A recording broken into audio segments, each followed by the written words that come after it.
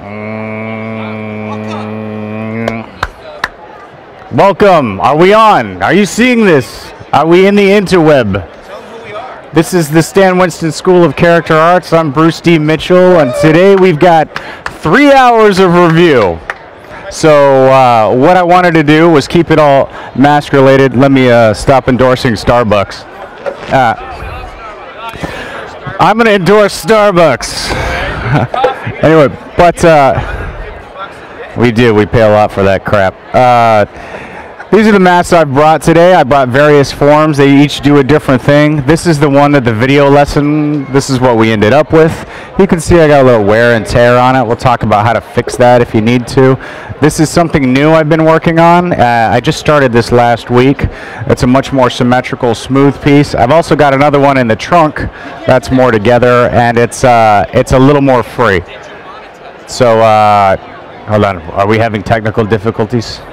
All right, helmet. You end up with a nice base. Uh, then I wanted to add something to give it a little more character. I've got a mouthpiece. You know, the haha, it's the mouthpiece. It's a it's a boom mic, but I wanted it to look toothy. I wanted the the venting to be there. Just a lot of character. Really draws attention to itself. Crowns the mouth. And then also there was sort of the, the night vision goggle assembly. These these are things that always kind of fascinate me. Uh, about about modern military gear. Just the fact that we have night vision and and uh, other capabilities that we throw over our eyes. But this just flips up just like so. Um, let's talk about this hinge here real quick. This is a cabinetry hinge. This is called an invisible hinge. An invisible hinge is just a really fancy hinge, uh, and I liked the way that uh, the rest of the kind of trimming here I use a lot of uh, brake cable housing, but before I use that, I just took, this is just copper or brass wire that I took a small rod and I just wound it around, wound it up. Uh, I like to make, well, anytime I have a piece that goes to something, I do like to suggest that there's, there's an electrical apparatus that connects to that piece. I don't like free floating. This is before Wi-Fi. I don't know, maybe you could have your Wi-Fi magical uh, techno bits talk to each other now, but before I like tubes. I like tubes for the drama. I like tubes for the direction of the eye. A lot of my favorite fa- sci-fi fantasy artists include this kind of stuff in their work, whether it sweeps off the head, the neck, to the arms. You know, somebody's. Uh, Somebody's weapon will have a tube going to a power pack. I think these are great, not just for the technical, imaginative aspect, but also when it comes to either drawing lines or, or illustrating a direction, whether in sculpture or in uh, 2D work. It's nice to use tubes and lines to kind of direct the eye. So again, take a look at all this. This is all built up one node at a time.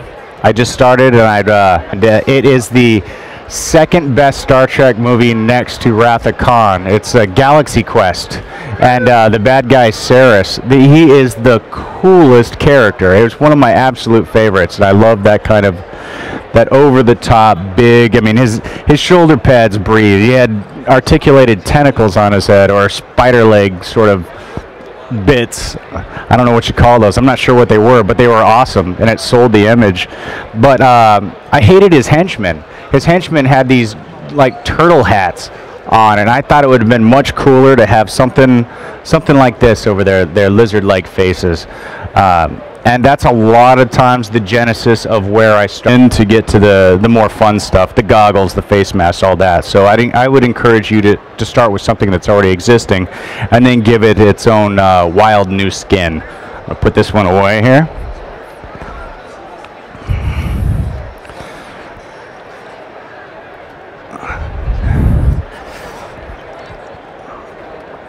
Okay, this guy, we've seen this guy before. He's all over my uh, Facebook pages, my blogs. He's uh, he's one of my newer pieces, my one of my newer complete pieces. I call him Dread Tenna. I don't, it, it's, I don't know. Dread Tenna, why not? I haven't heard that name before, but you know, he had these dreadlock like antennas, and everybody, you know, oh, that reminds me of Predator. Sure, it does. Look at more sci-fi fantasy art. You'll see more guys have like tentacle-like things on their head. Uh, I'm not knocking the predators, but not everything's predator. I worked on Predator. I've worked on two Predator movies. Not everything's Predator. All right. Appreciate it. I know you're just looking for something to compare it to, but uh, again, let's say you start out with a face like this. This started out as a face like this. But uh, once you build a face like that, you get to add bits like this. I don't have leather cross ties here. It's not just decoration, that's an actual stitch. And also at the edge here, I don't know how close you can get on that. All right. Let me pull out a pointer.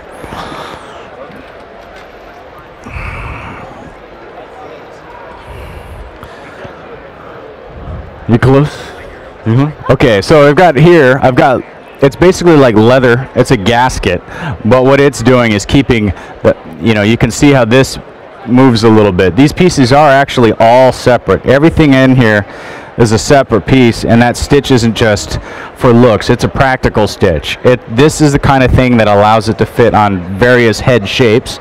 And like if you look at if you look at people in your world, or if you, uh, I'm just going to look around in the crowd here, everybody's a unique, magical, individual snowflake, and especially when it comes to the shape of your head. I've got a rather skinny, genie-like bean, so my head shape isn't going to fit his head shape something more broad. I'm sure he's got a bigger brain. So uh, whatever. Head shapes are unique, and you want to make sure that it, one mask doesn't fit just one person.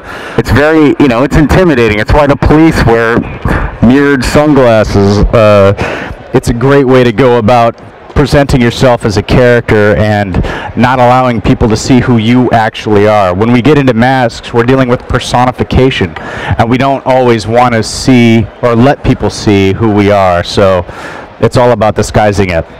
And that's what I found with the sunglass lenses. And from then on, that's the, pretty much every pair has it. I think there's there's one item I'm working on that won't have it. It's a more classical looking piece, so I don't want to put lenses in it you know, whenever you do put lenses in it, you, you can't have something. It's medieval. It's got sunglass lenses, so I'm keeping them out of the, this next piece I'm working on. But uh, it is an awesome way to just trip people out more with your awesome costume. They can't see who you are. Don't let them. Okay. Thanks, guys. So this, uh, I brought this one. This one is not made of an epoxy clay. This one, when I first started it, it was all made out of styrofoam. I glued it together. I had an idea of what I wanted to do with the face, but I had to make the face, construct it around the eyes first, and then sort of bridge it out and around and discover just sort of angles. As I'd glue a piece, I'd make sure it fit. I did work with a life cast to make sure this would fit over a face. But again, uh, this one being uh, so fragile, it was one that I went and, and I actually hired one of the guys at, at Legacy Effects to make a mold for me, uh, Javier Canteras. Uh, great mold maker, and I just I had him do it because I wanted to move on to the next one, and it was sort of a barter trade, pay a little. But if I could get somebody else to make the mold, that's not my big bag of fun. So I'll, I'll trade or, or do that kind of stuff instead. But uh, yeah, I had to make a mold of this. It was so fragile it would not survive. So this is a casting, and this is actually a uh, fiberglass Bondo. I think there's there's a mud layer in there, and then it's got just two layers of glass. So it's not real heavy. It's pretty good. And uh, the lenses, let me tell you about these lenses. So I'm a, I'm a sunglass dork. I mean, obviously I put lenses and everything. I really like Oakley's. So I called Oakley, and uh, I didn't call them. I, I in some of the masks, but I had never seen the variety that uh, are in the uh, Commedia dell'arte. And then uh, the versions or styles or eras that people have done and went and embellished this. So uh, I wanted to make my own. I'd love to do a series of that. I'd love to someday have an art show in Venice. That would be just incredible. It's the land of masks and glass, you know. You got the island of Murano that's making the uh, beautiful glass pieces, and then, you know, I, am not sure where the masks come from. I saw some people making them, but the, the tradition is rich, it's beautiful, and it's open to interpretation. So I wanted to do that. Uh, so yeah, I call it Dr. Bird because uh, I've got kids and they come in the garage every now and then and they're all, they're, they're giving me compliments and my kids are like, nice you know, they're four and a half and two and a half, and they, they were just convinced I was making a bird mask. And um, I said, no, it's a, it's a plague doctor. And, but you know, how much do you describe a plague to a four-year-old before they just don't get it at all? So I think he retained doctor. And then he came back the, the next day to give me a compliment, check out my progress, hang out in the garage a little bit. And he goes, hey, Dad, I really like your Dr. Bird. So since then, I'm just calling it Dr. Bird. Yeah. So let me say, I've taken on the morning shift. The morning shift was to possibly hit more of the European audience. Uh, I travel mainly to Paris. My wife is French, and we go to Paris every year, year and a half. So I'm there a lot. I I, I stay in Test, Bastille, and uh, I know the neighborhood pretty good. But I love traveling. I've been all throughout Italy. I've been to Germany. I've been to Cologne twice. That was for Gamescom. That was a great job. If you guys are out there, I loved that job. That was fun. Uh, we did uh, Warhammer suits for THQ, and I was in a giant ultramarine costume, and that was a hell of a job. That was a great job I got to travel with. Uh, I went to Spain in that. I went, let's say, Germany twice. Uh, I was in Birmingham, uh, in England, and where else? Well, in Birmingham, I was taking a cab there from the airport, and and the uh, the the cab driver was British. He goes, "Oh, where are you going?" I, I was all Birmingham, and he just sort of looked at me and laughed. He goes, "No, you're not. You're going to Birmingham." So it's a, you, please forgive my American twang for all you out there. We got a lot of popping consonants, but hearing myself. So it's strange to talk to all of you while I've got a boom mic on. Okay. I'll go over what I'm pulling out here in just a minute. Let's see. I said I wasn't going to do any dremeling here. but I lied. All right. Yeah. Sure, man. That was Jess's idea. Jess. What's that? Thanks, Jess. Okay. Now, like I said earlier, I want to do a little bit more work on this because it's still mine. I don't have to give it off to the world without doing every little thing I want to. And I like details. Uh, and these are the kind of details that I feel like I've got going as sort of my, my build motif. These are things I like to do. Again, I'm not taking a large toolbox. I try to consolidate all my stuff. I've got a lot of tools, so I try, to try to put the, the ones in a little go box. Excuse me, world. Sorry, world. magical little go box here. So these are the hoods that I've pre-made. Let me grab my on the Stan Winston school site, and it was from a guy, and I'm forgetting his name, but he, uh, he was in Germany, and he said that there was a there was a dramatic jump in progress between the time that uh, we started the magic sculpt and then started dremeling, and he was right. When I watched that at the end of the part one, and then you pick up in the part two, they had, and this is, I don't know why they did it, but you're right. Uh, but they cut out a lot of us sculpting the face while it was still softer, while it was still in the, its moldable magical, magic sculpt form. And uh, when I first saw, of course, I was like, who's complaining? But uh, the guy was totally right. And if there's anything I can help you with, look me up on my Facebook page. Ask me any questions. I usually get back to everybody within a week. It'll depend on how busy I am, what I'm working on, but I usually, while I'm working on something on my own, I'll take pictures of it and I'll post the, the progress on the website. That's just the progress of, of what I do in my garage. I, lo- I love the feedback and I love, uh, I don't mind the questions either, so hit me up. Okay, this was an all, this was totally complete mask. Goggles went up, everything worked. It's got leather on the bottom enough. Uh, when I do use them, when I'm using any kind of magnet, I like to use the cylinder magnets because I can just take a drill bit, let's say, and I'm gonna, when I talk about this stuff, I'm gonna talk in inches. This is what I know. If I was trying to be accurate with my centimeters, I wouldn't, but just translate what I say to whatever your, your the measurements you use are. So if we had a, uh, this is a 1 8 drill bit. If I had a 1 8 cylinder magnet, I could just drill a hole with this bit, and then using that magnet, it would fit almost perfectly already into that piece, and we just super glue it in. That way, I'm not having to do a lot of patchwork to get past any details that I've already destroyed. We just go further into it. Uh, but if you can if you can find magnets uh, in a cylinder size, you can also just find the drill bit in that same size. So that's how I do that. Uh, the blue tape here, that's where I'm working. I wanted to protect what I already had laid down. So let's see, these pieces. This is the left. I know because there's a little L drawn on there. I'm making hoods. These hoods are going to land right here. When I did this piece, I used clean clay or I didn't do those one at a time. I'll go back over those with an X-Acto blade or a scribe tool, but I set lines like this, or where you've got these tight group of lines with a wire brush. This material is durable enough that a wire brush isn't going to just strip the clay off the form. This is also when it's completely kicked and hardened.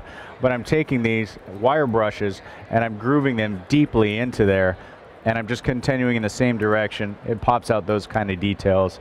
I like those details. To me, that's what makes it look, it makes it look, sometimes it looks like petrified wood, sometimes it looks like skull bone. Uh, you get like, especially I've got, I've got a boar skull and a cow skull, some ram skulls, but you've got you've got all these lines where the grain of the the bone itself it's like where all the plates connect the bones still grow in a direction but the older ones the more antiqued ones uh, the more stressed with age they are, the more they have this separation, this grain. And, and I think that this is a great way to get that in your skull-like masks or just to uh, make it a mystery material. Like I'm not trying to suggest that this is all bone or it's a shell, but I do want it to look like a completely different material. I don't want it to be so recognizable. If people want to think it's bone or wood, that's great. But uh, if you want to use the cylinder ones that I'm talking about, that's it's readily there. There's also flat, rectangular. There's any shape. There's there's shapes with holes in the middle, so you can make sort of some trapped donut-looking thing. But uh, I would say buy yourself some magnets, and if you do. Uh-oh, we lost the battery. Lost the battery. Lost a battery. Hold on. Let me swap with you, Eddie, and then I'll. This isn't playing either. It is. It is. Yeah, you're you're good. You're, you handsome son of a gun. Yappity yap, yeah.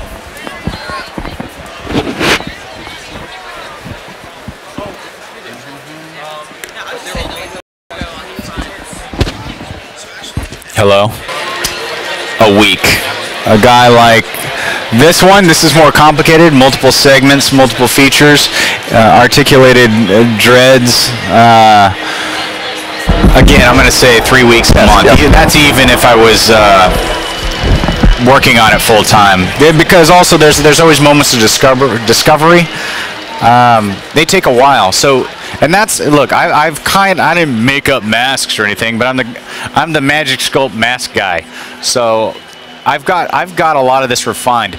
Don't stick yourself to that kind of schedule, and don't worry if you're falling behind what I'm saying. This isn't unless you're doing this and you promised a friend you'd have it done. you've got time to work on it. I'd say if you're learning and you're working on this, uh, take your time while you're learning how to use the materials. I don't even suggest jumping into something past what we've done on the on the, uh, our lesson piece, that size, that's a good size to start with. But uh, hell, if you're doing a helmet, you want to sculpt over a helmet, go for it. But do give yourself the time. Don't race this. This is your art. You need to you need to not feel pressured right away. You need to learn the craft. Time with it. It's this isn't the kind of thing I have to make for a client right away. So um, I do take my time. Uh, let's see, another long part. What is the longest part? Sometimes dremeling. Sometimes just sculpting it, especially if you're not satisfied with it or you didn't have anything in mind. I, I really don't have a single one answer of what takes the longest, but uh, take your time with all of them. All right, I'm going to get back into this guy here. So what I was saying about, uh, I had a, clay barrier piece that came off this goggle. I sculpted it right on the tape. And then I uh, used the Magic Sculpt to sculpt over the top of that. I went ahead and dropped that piece of uh, malleable epoxy clay right over this tape. Uh, the tape acting as a barrier, that way I didn't have to use any release. I wasn't directly messing up the paint underneath it. But these are the kind of hoods I created. I've got one for the right, one for the left, And pretty much what I'm going to do is install those now. I want to go over what I did finish-wise again on these guys. And I do have to do a little more finish work to them.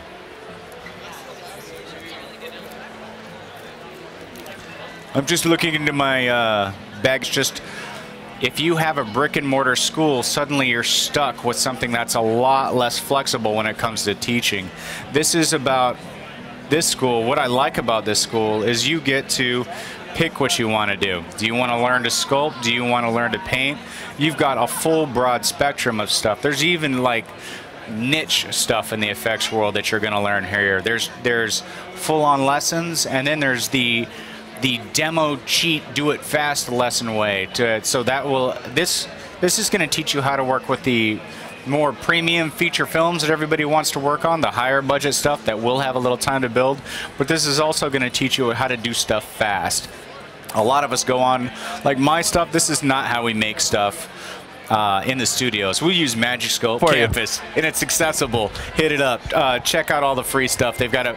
Also, they do sell all their lessons, but now it's also look at their YouTube channel. It is the most complete FYI or do-it-yourself DIY YouTube channel I've ever seen, and I'm happy to be a part of it. Thanks, Bruce. You're awesome. Hey, uh, we got another question for you. Uh, Matthew Walter wants to know uh, when you make a mask with a huge protrusion, like a horn or large spikes, do you typically build those separately or attached? I build them separately. And I now, do. you add wires or armature to save clay? Um, you know, depending on how thick a hole, uh, you know, if you if you can throw up a piece for me, Matt, I've got uh, a piece in there. There's the it's a minotaur head. It's the I, I actually can't throw it into the broadcast. okay. But I did post it on our Facebook Well, I've page. got it on my wallet. Yeah, yeah. I'm gonna show it really quick. Yeah, you can hold it right up to this camera. Noonie, noonie, noo. Okay, tell me when I'm in frame and everything here. So this guy, can you see it? Am I in frame? I have no monitor. Tell me. Uh, yep, you're good. Okay. Uh, uh, That those are real horns. Those are steer horns. When it comes to this, an animal reserve, and uh, these aren't. So I'm trying not to buy poached horns. So when I use elephant tusks in my mask, what I like to use now, I use uh, I use all sorts of antelope um bone. I, I got a Krampus mask I want to build because uh, you know everybody's going gaga for Krampus. and then there's some awesome designs out there. I saw some uh, stuff from a it was a fair in Austria or a, a, a winter solstice kind of deal in Austria with the Krampus. It was incredible looking. Uh, I want to get into that, but you got to use armature wire. So yes, and I do build them separately. Also, if you build them separately, the, the bonus is you can alter them. If you make something and you come back the next day, this happens to me a lot, uh, where I come back the next day and uh, I get picky with myself on these. So I'll just be, and I'm like, I'm not happy with it. I want to change it. If you've got your piece and it's separate, you can change it. And it might be just as minute as an, an angle being different, like if you're building horns. I was actually going to do, I've got I think in the lesson I talk about using Magic Sculpt, rolling it out. Whenever Magic Sculpt we have left or whatever epoxy clay we have left, I roll it out and I make sort of a claw. I've got all these pieces that are about this long. Great work in it. And he was only an hour away from me. Again, that was like the benefit of where I was living. I was living in uh, Northern California up in the wine country and this was in this was just below me. This was in Marin. So I uh, I cold called him one day, and, and and that's how you do it. You just call the place up and see if they're hiring or talk to them about how they take on new personnel. But uh, I've been doing this for good God, what is that? Is that 21 years? 92? Anyway, I started out in a creature shop as an apprentice. Uh, from there, I went to another place in the Bay Area called Midland Productions. They did uh, we did a lot of motion-based ride simulation kind of things. We did a Tower Records commercial, but from there I was a model maker with sculpting chops. There I worked at uh, Matte World Digital as sort of an apprentice gopher guy. I was helping out in the model shop, but I would also run around the Bay Area taking photographs for lighting reference of uh, interesting looking buildings, uh, whether it was skylines or uh, arenas, you know, the Oakland Arena, uh, any of the domes or candlestick, just so you get an interesting building and you get the light fall for reference for matte paintings. And again, some model work there. Then it got slow, and that's when I monster. So I'm sculpting out of foam to make pieces. We are we started with rocks, then we made some boats. The guys, the art directors there, liked our work so much that they sent us as a team. Me and a guy, Mike. I don't remember his last name, but uh, uh, he sent it. They sent us to sculpt the ride vehicle, which is supposed to be a. Uh, it's a big Imagineering deal, and uh, I didn't like Imagineering. I'll tell you that right now. I still don't like them. I hated it. I did not like them there at all. Uh, it was it was nice to play with the big tools, but what a corporate cult, and that is not what I'm here for. I did not like it. I'll take. I'll take you, indie job. Yeah, let me. That was a bridge I had. Let me throw some dynamite over my shoulder. Not supposed to do that stuff. That's not professional. I made a lot of great friends there, but I hated that place. Fuck you, mouse. Uh, I'm sorry. I'm. Uh, uh. Uh, and now it's just the Imagineering side. Marvel, Disney, I'm all about you. But you're a different entity. The views expressed by Bruce D. Mitchell do not necessarily review, reflect the re- views of Stan Winston School. So- we love Disney. Bye.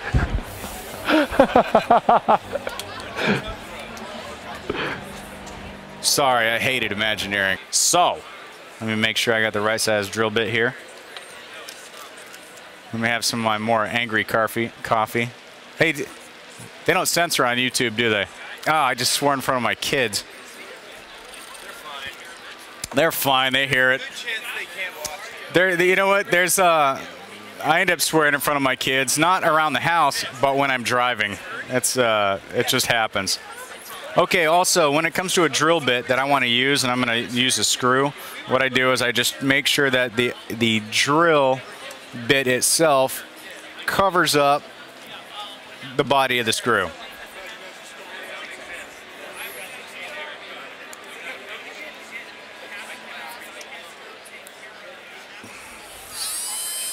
I got plenty of battery power. And that's my left one. I'm gonna eyeball this. This is, a, I mean, this is a pretty rough look. This is, I mean, it's got its symmetry, but at the same time, if I'm a little off, I give myself that kind of grace. I like pieces that have an organic quality. Uh, I don't think those cheers are for me.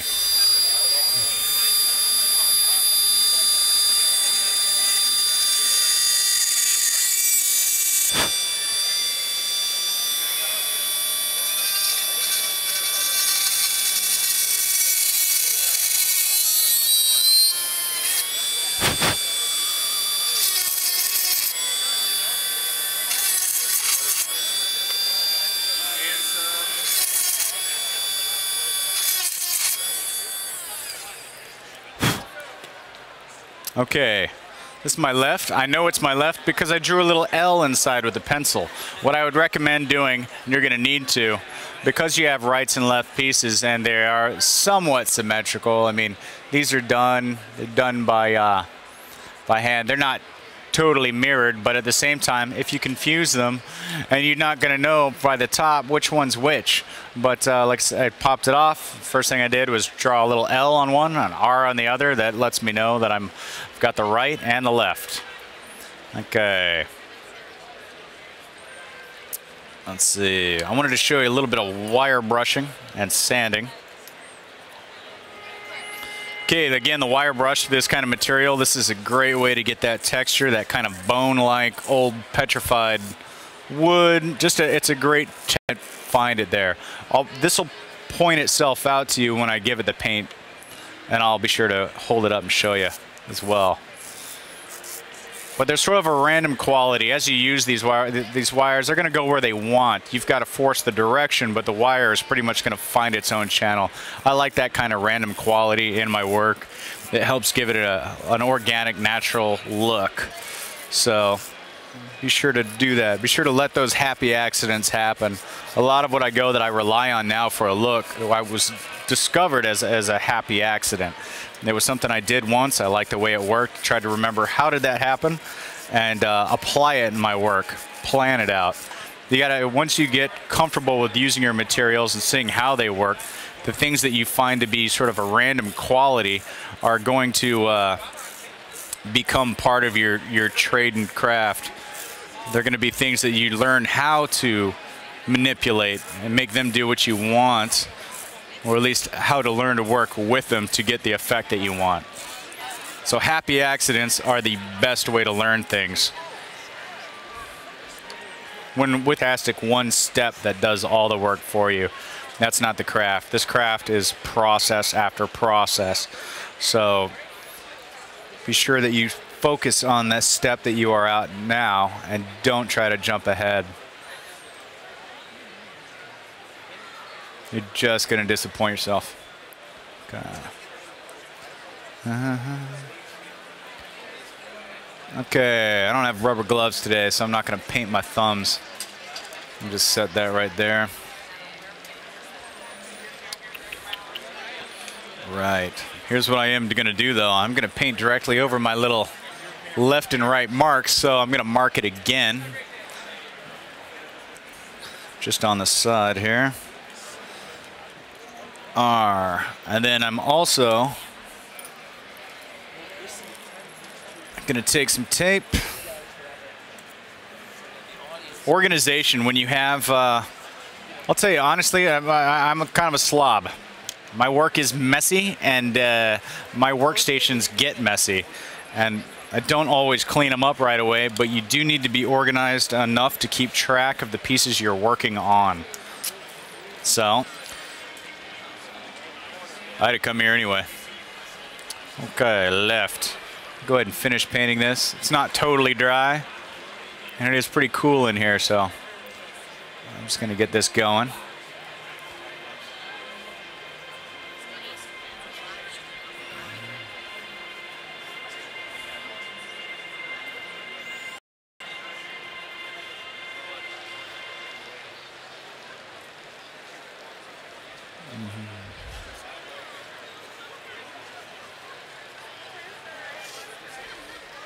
You know what? If anybody's got a question, it'd be a good time to hit me. This is a little bit of a process, and I got my hands going, so I don't know. Oh, it's not much more. It's just, and probably this one too. So I buy bigger kits. I buy, it's almost like each bucket that makes up one of the halves is about a two gallon size. Uh, so I haven't purchased any more epoxy in quite a while. I'll try uh, Apoxie Sculpt again. I'll uh, I'll forever use whichever one wants to use me and sponsor me. So uh, if you're listening, I'll totally sell out for your clay endorsement. Um, I'm gonna let these dry. And see what we're doing is just getting that full coverage on on our goggle hoods. Now, when it comes to uh, the finish, I'm going to leave the underside of these hoods black. It's important that the goggles that you looked out, of, because you have closed coverage, the rest around the lens needs to be black. This allows you to see. If you have, uh, if it's a light color or like a white or the numbers to have a, a, better reach. So please go ahead and hit that up. But feel free to ask me any of the questions you have when your uh, artistic endeavors. You know, if you need a little more help on getting uh, your magic sculpt to lay down smooth. I know how to do that. I'll even tell you. I'm not gonna. I'm not gonna hold out on this stuff. I mean, we'll make another lesson and we'll get into that. Um, if it seems like I was holding out on this mask, it's just the amount of time that I can dedicate to a lesson. It's just the amount of time that the guys can dedicate to a lesson. Uh, as I was saying, it takes me, if I had the full time to work on it, I could make one of these in a week, week and a half, but up to three weeks that would be a very, very expensive to shoot lesson. So we have to keep it short and sweet. So where you may want to get into one of the full head things, I'm trying to show you just the foundation approach. Also, I love to get the pictures of stuff that people have done. Uh, I've one of, one of my friends, Ryan, made a piece. There's a guy, I want to say his name is Brad Goodspeed. Actually, it's for another studio or you know, if you're just starting, work that you've done on your own. Um, the guys see all sorts of stuff, and I, am actually often look, uh, asked to look at somebody's portfolio, and I do. I'll, I'll look at it, and, and, it's hard to say without knowing exactly what you've done so far. But at the same time, when you show your work to somebody, I really doubt anybody's going to go, "Hey, man, that's crap." This is uh, you don't have it. They're, they're we're all guys that had the dream, and we're all guys that have found a way in. and for the most part, we encourage each other. Uh, it it does get rough sometimes because you are in a position as a freelance worker. You've got to maintain a relationship, uh, a good, positive relationship with the people that you work at. Uh, I may have destroyed that with Disney, but at the same time, it's uh, it's something that you you got to do. And by by doing that, it, it that what I'm saying is that goes into checking out books of people that want to get in. Yeah, you'll you'll get pointers if anybody you know whatever their their hone or skill is. They'll they'll help you. They'll they'll tell you for the most part. If they'll look at your book, you'll get a good advice. A lot of times, some of the bigger guys, or a lot of the guys used to do these down to Southern California, I knew it was getting there in two days, but I'd wait three days, and then I'd call to confirm the package delivery and just make it sound legitimate. But then also, you might sound familiar at that time, so I'm just even though it's a very basic relationship. Hello, I'm my name is, I'm making sure this guy here. You are slowly learning how to work in the effects field. It's it's super tiny, but that's how you start networking. Uh, so persistence, man. Keep going. And you got another one?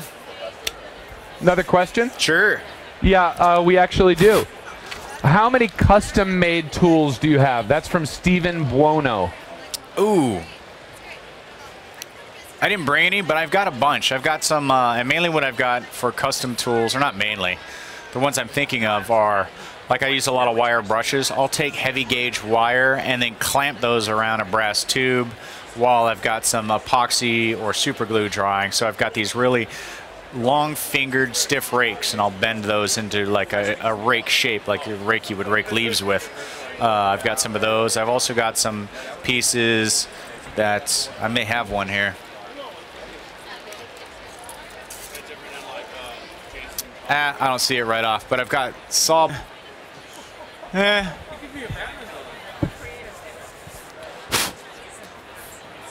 But uh, I'm scrubbing this down, and you can see that what I end up with is the details, the recesses, the wire brush marks. Those are the kind of details, again, I like. I don't know, I don't know when this goes out of focus or when it's in focus, but uh, we get a lot of detail.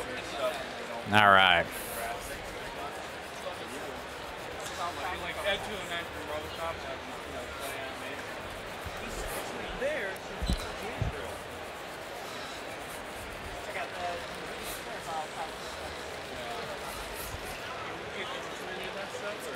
Let's see here. Scrub, scrub, scrub. Almost done with this. And again, uh, I'm not going to, I'm going to leave this side black. I want it to be black. I want it to, when it's on, no light goes up there. We've already got a lens in here, which is, which we put the lens in so it looks good and you don't see the eyes of the person wearing it. We have an anonymity when we wear this mask, but at the same time, putting a lens on does begin to obstruct the vision. So I don't want to obstruct that anymore and I am doing that, but I'm doing that for an aesthetic reason.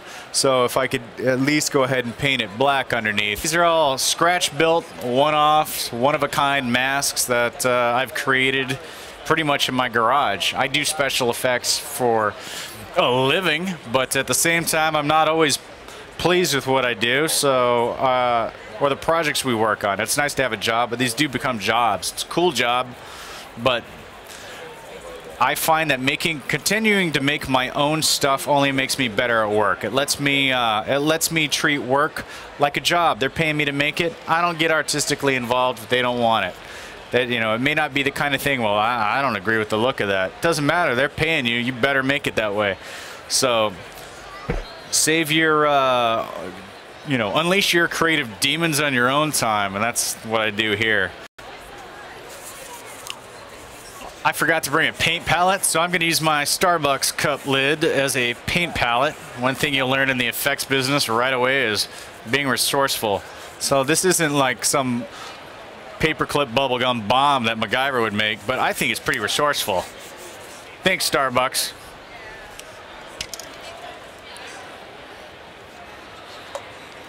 Mmm, we're gonna trash. Thank Trash? you. Talking trash. Talking more trash. If you're back, I was uh, uh, I was singing Disney's praises earlier, and I meant it. I love them. We love Disney. Who are uh, unaware of the films you've worked on, can you talk about some of the projects you've been on that they'd, they'd know? Yeah, sure. I'll, I'm going to go backwards just because it's the easiest way to remember. If I start to, uh, and I- I'll, I'll still probably forget uh, a few. Um, I've been working at Legacy Effects for the most part, but uh, Pacific Rim, we did 38, 36 or 38 Jaeger pilot suits, and that was all the different countries, whether it was the, the Chinese suit, the Russian suits. Um, Pacific Rim, I worked there as a fabricator, and we made a lot of armor. It was some great looking pieces too. And that, uh, I don't care what you thought of the movie, that was a fun job to work. Uh, time wise, it was you know jobs like that are big and they get tough, but it was cool to be working on something that was not a sequel, a reboot, um, or just a, another continuation of of something I've seen a million times. I mean, sure, an anime you have. I mean, you know, I just saw last week Honest Trailers. Honest Trailers has a really kick in the balls, hilarious Oh, no. review of uh, Pacific Rim, and they were pretty accurate. But it was a great job to work on. Um, I did a lot of the leather. I did the leathercraft for Whiplash's characters, both the hero suit and the stunt suit. Uh, let's see what else. Uh, I directed Star Wars, the first one. I was three years old. It's a And lot your- of work. and your name was really hard George to Lucas at the time. At three. No. Um, let's see. Also, like movies that I've worked on.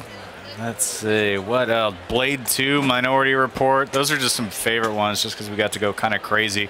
When you get a movie that's a, a big sci fi world, often, no matter how intently they try to design it, the art directors or production designers are always going to forget something. They're trying to create a whole world, and you're always going to forget something. So, jobs like that I dig because if they like Jeremy Aiello, it was it was sort of a canister shape. It was no test of his skills, and it was molded by the mold department and then uh, given to me, and I took it home and just kind of had that as a side project where I constructed that in my garage.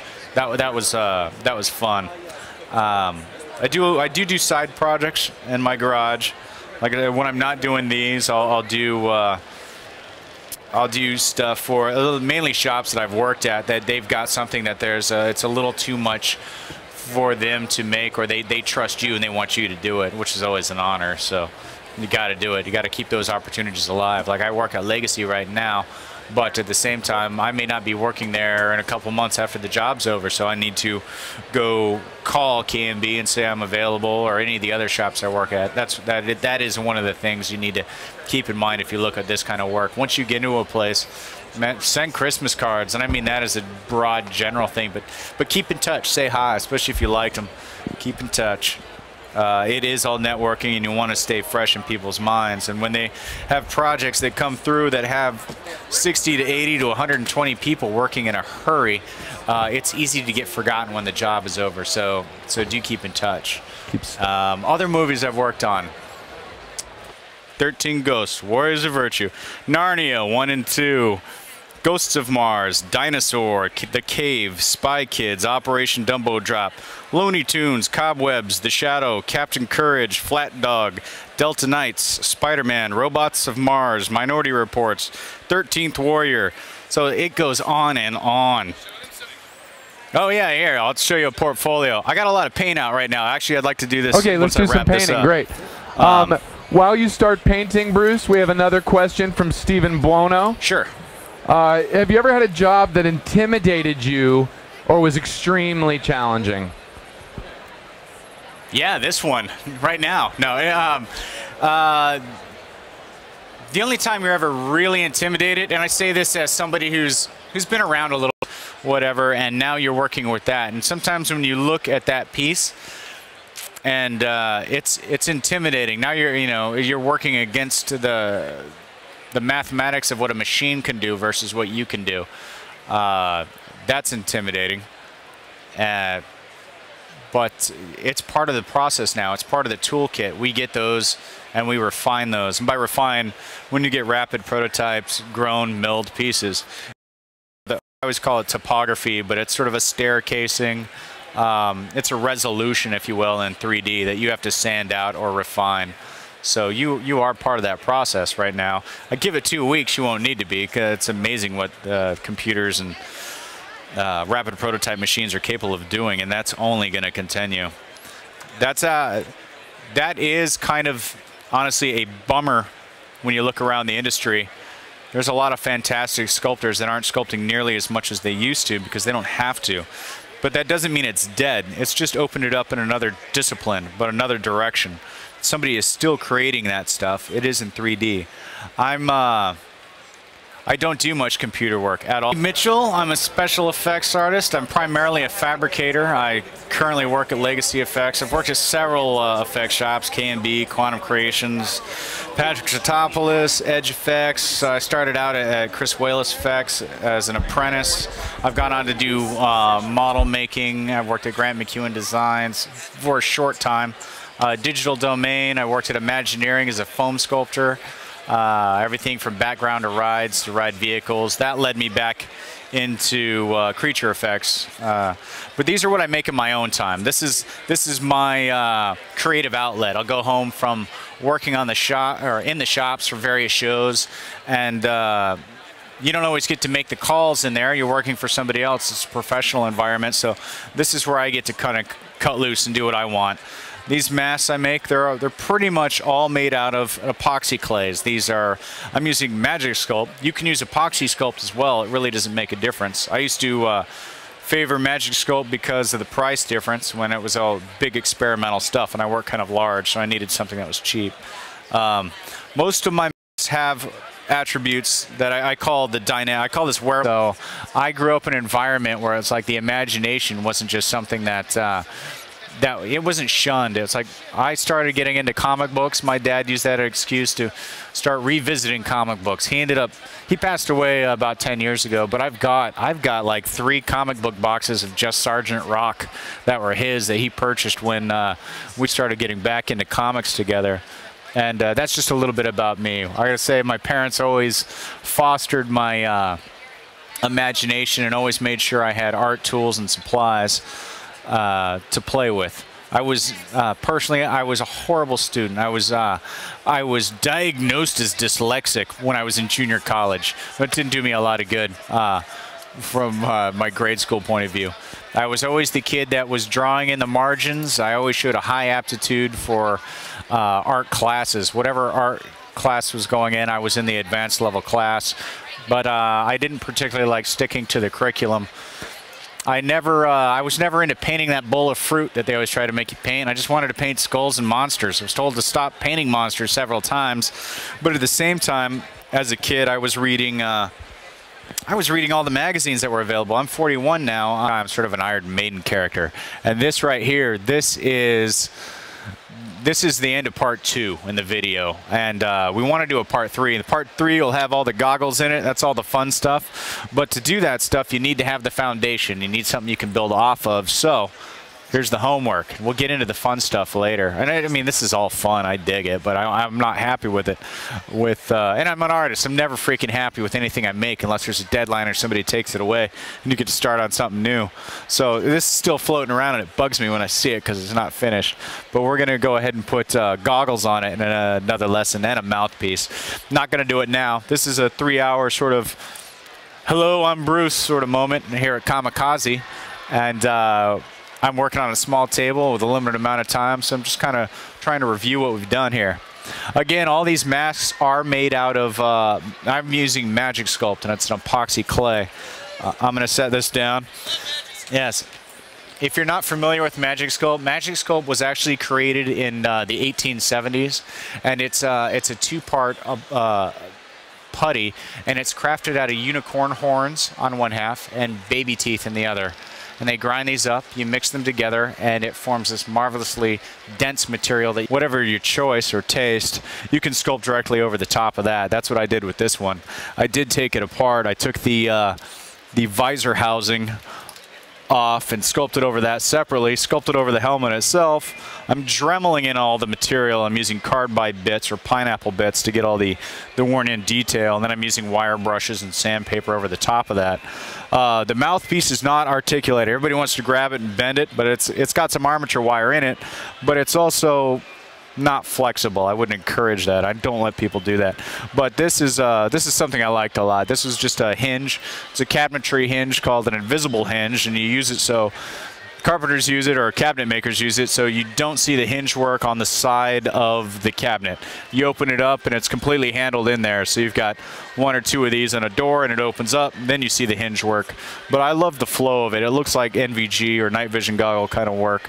And I always dug that in, in whether it was uh, helicopter pilots or, you know, that. Uh, special forces look. But what I brought this here to show you is you can go ahead and take a rigid form helmet and build directly over the top of that if you want to experiment and maybe you don't want to make a mask. You, there's other options. Build over the top of something. That also works with any sort of the kind of stuff you can do and don't be afraid to experiment. I experiment uh, quite often. Hey Matt, how much time do we have? Uh, we have me? about 20. Uh, no, you're actually technically done. Really? Oh, let me show you one done. more thing. I, that went really, really fast. See? That went really fast. I knew it wouldn't get much done, but let me show you one thing here. Or how much longer do you have? You can go, I would say, a half hour, then we got to get to that panel. Okay. All right. Uh, while while Bruce is stepping away, for those of you who are just joining us, uh, we are at Stan Lee's Comikaze at the LA Convention Center. We're going to be live broadcasting from the Stan Winston School booth all weekend long. Uh, Bruce D. Mitchell here, brilliant uh, creature effects artist, uh, has been demonstrating his uh, his own approach to mask making using Magic Sculpt and other materials.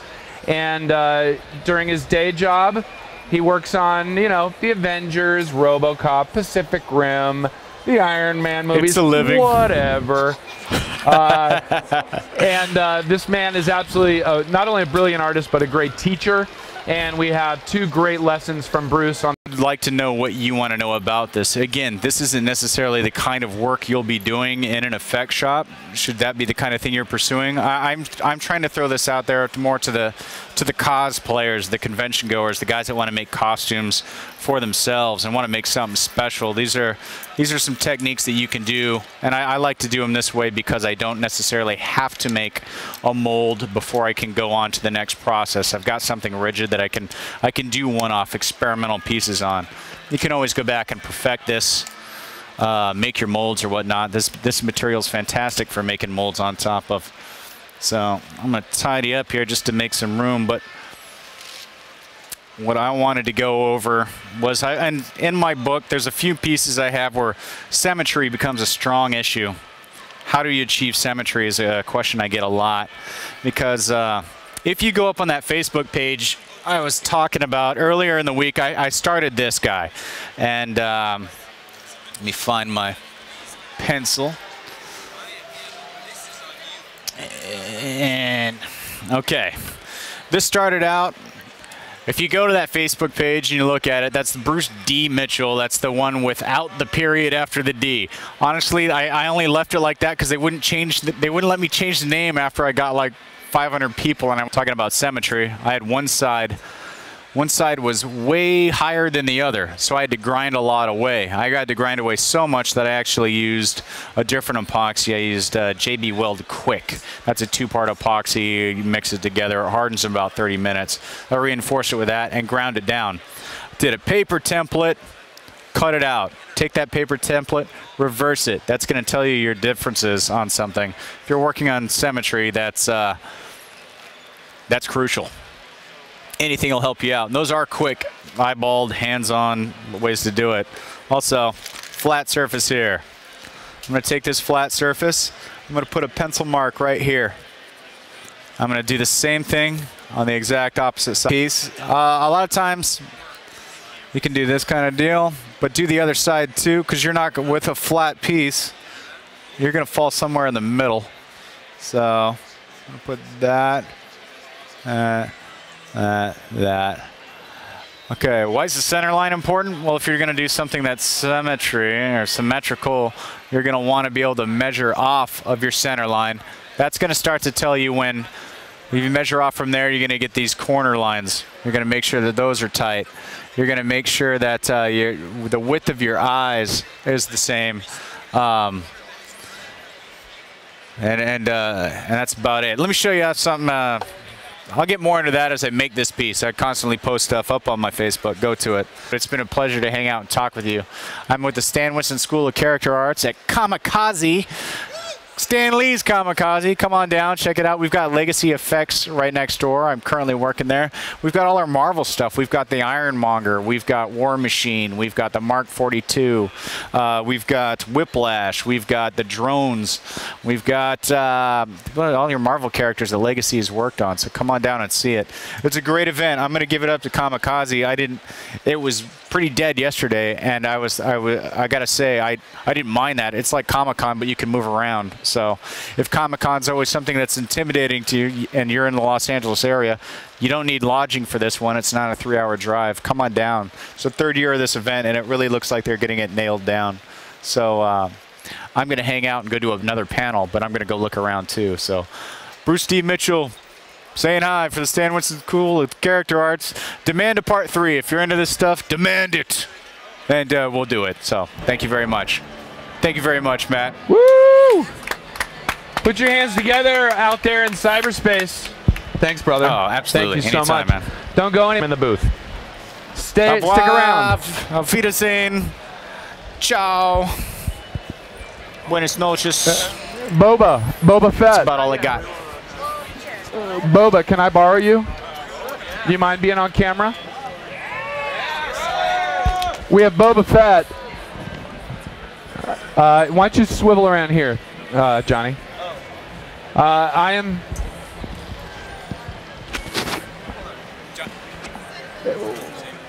Hey, how's it going? What's your name? Matt, Matt, Matt, wait for a second, All right, guys, we are here at Stan Lee's Comikaze. There, this place is filled with cosplayers, uh, like our friend Boba Fett here. Uh, what is your actual name? uh, rubber and uh, I don't know what else they're Well, they're using uh, within it. I, I notice it's pretty heavy. It feels real, which is cool. Yeah, awesome. it's great. Uh, well, well, very cool, man. Thanks for uh, creating a kick-ass costume and sharing it with us. That's Rob, everybody. Uh, I'm gonna bring cosplayers galore in here. We're gonna meet some people. Thank you. I can't keep the gun, can I? No, sorry. No? All right. All right, we're going to bring some more fun people in here. Uh, give me a second. I'm trying to eyeball a fun costume. Oh, here we go. Miss, Miss with the makeup. Can you come here? Yes, come on in. Come on in. Just come right through. Watch your backs, guys. that's passed on. So Well, what, what I love about it is that it's not sad. It really is a party. And uh, when I die, I want to have a Day of the Dead celebration. I don't want some lame, boring, sad. Cool. All right. What do you think of the convention? I love it. They did a really great job with um, Comikaze. I mean, it's. I mean, I've been to a few Comic Cons myself, and this is pretty, pretty rad. I mean, I really enjoy it. So. Yeah, I like it too, and I like that I don't have to drive to San Diego. Isn't that nice? yes. Well, I live in San Diego, so I actually had to drive up to LA. But either way, I mean, it's it's still worth it. Obviously. I mean, we're stuck in two hours, but it's still cool. How does this compare to Comic Con for you? It's, I mean, it's a little smaller, but it's just more cozy. You're actually able to interact with people a little bit more. Oh yeah, yeah. You saved the. Of course. Yeah, I know him. Um, what about the big old hammer? How did you make it? Um, actually, my boyfriend's responsible for that. Thanks for joining. Oh, hold on one sec. There you go. You're all. Well, thanks for visiting us from Asgard. Well, what do you expect? I had to go come down and check up on on Mr. Lee and everyone here. And you know, being the God of Thunder, I gotta pop in and see Jane once in a while. I recently found out about this man called Wayne Campbell. He said that. Keep talking. Keep talking. Wait. Yeah. Wayne Campbell said, said that that if Jane was a president, she would be Abraham Lincoln. Your other father. Yea, indeed, mortal. Well, enjoy. All right. Uh, let's see. Who else do we have here? We're doing a little. That was the real Thor, guys. The real Thor. He's much smaller than than you'd think he'd be, but that was the real Thor. Uh, how's it going? What are you? Come in here. Come on in. What are you? Uh, I'm one of the bosses from an old video game. What old video game? It's Captain Commando. Any Captain Commando uh, fans out there? This is apparently a character from that game, a, a boss, a bad guy. What was his name? It's Strum Jr. Drum Jr.? I think it's Strum or Strum. You, you're not sure and you dressed up like him? They never really explained it. What were his powers? He was really fast and he had a harpoon gun. Are you pretty fast? Nah. So you're a slow version. Yeah. That's all right. Are you having fun at Comikaze? Yeah, I am. Your first is it your first time out here? Yeah, Comikaze. Do you guys all want to come and let, let us see your, your costumes? Come on, X-Men family. So what, who is, what is your wife then? Uh, X23. X23. Yeah. So tell us about your costume. Did you did you make your costume I helped with the piping. with the with the piping? So so is this the piping here the, the that goes around? Yes. Did it, did it take you a long time to do it? Yes. Yeah. And where are your claws, Wolverine? In the, in the bag. Mom has the claws. Yeah. There we go. There are those claws. These look like you made these at home also. Yeah. Yeah. All the props I, helped. made for them. All the props you made. Wow. This is a pretty fancy costume. And then and then who do we have here? Professor X. Professor X. Professor X. And t- tell us, Professor X, what was the what was the, the thought and the inspiration that went into this costume?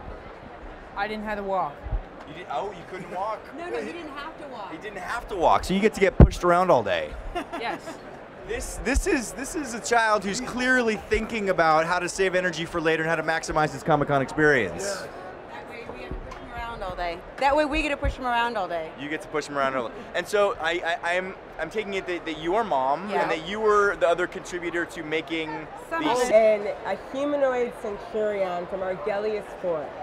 A humanoid centurion from Argelius 4. Now, now how do humanoid? Humanoid centurion from Argelius If you watch Star Trek, that's where the reference comes from. Okay. uh, Now, is this a costume you bought or you made? Someone actually made this for me. And you know what? I usually, whenever I go to conventions, I usually go all out. I usually dress as Storm, and last year I was Jade from Mortal Kombat. Okay. But um, my friends bailed on me today, so I was like, I want to be comfortable, but still kind of badass in a way. So, so you came and you're rocking this solo. You're doing this without any support, any of team.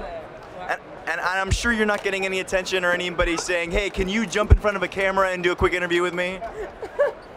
No attention No. whatsoever. No, no, no. You're like, you're wearing a body stocking? I'm like, yeah, I guess it's kind of, but it's comfortable. It's like wearing jammies. Who doesn't love jammies? I love jammies. Well, thank you so much for sharing with us. You look awesome. So, have a good day. Whoa. Come on up. How are we doing, man? So, tell us about your costume. Tell us who you are. Well, um, I'm John Lennon. Los Angeles Lakers into a super costume. To a super costume. Well, I was Iron Man last year, regular colors. Okay. And then I was figured I'm going to Comikaze. It's in LA. It's right next to Staples. Lakers play there. I'm a lifetime Laker fan. So, put two and two together.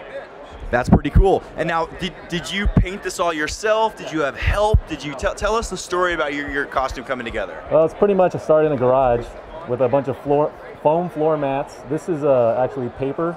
I did Pepakura to Okay. um, make the form, and then I put fiberglass over it, painted it, sanded it, painted it, sanded it, and then Wow, so, so this is all your own fabrication. This is all your own work into going into this. yeah, yeah. I didn't I didn't go into a costumes shop and buy anything. And, and how long did it take you to put all this together? About six months. About. Tell me about everything. Um, I did not make it myself. I Okay. purchased all of it, but um, I really like the the anime, so I wanted to. Uh, I first got this to the Comic Con um, for um, for summer, and then uh, I saw about this Comikaze, so I figured I'd use the same costume. Sweet man, that's pretty smart. So so you've been to Comic Con, you've been to Comikaze. Um, how do they compare? Tell, tell me what you like. uh, Tell me what what are the things that are different and the things you like about this compared to Comic Con. Uh, it's a lot less crowded here, uh, which is nice. You're not always running into people. There isn't a traffic jam of people everywhere you're trying to go. So that's what one thing that I like more about Comikaze for sure. Um, I don't know. Uh, things that I do like about Comic Con more is like you do get to see a lot more people, so you do see more costumes, which is probably one of my favorite things about these conventions is just seeing people dressed up. Cool. So so what? So so far today, what's the best costume you've seen here? The best costume I've seen here. Um, I did really like that Iron Man costume. Um, what else have I seen? That's by far one of the best that I've seen. Cool. Cool. Well, man, you got a great costume, and thank you uh, for for stopping by, and I hope you enjoy the rest of Comikaze. Sweet. Nice to meet you, man. All right, all right, uh, Captain America. All the good stuff.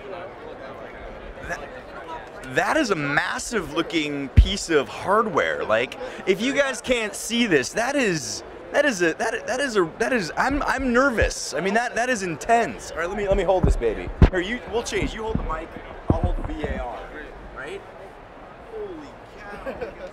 this is this is serious. That is that is a that is a powerful weapon.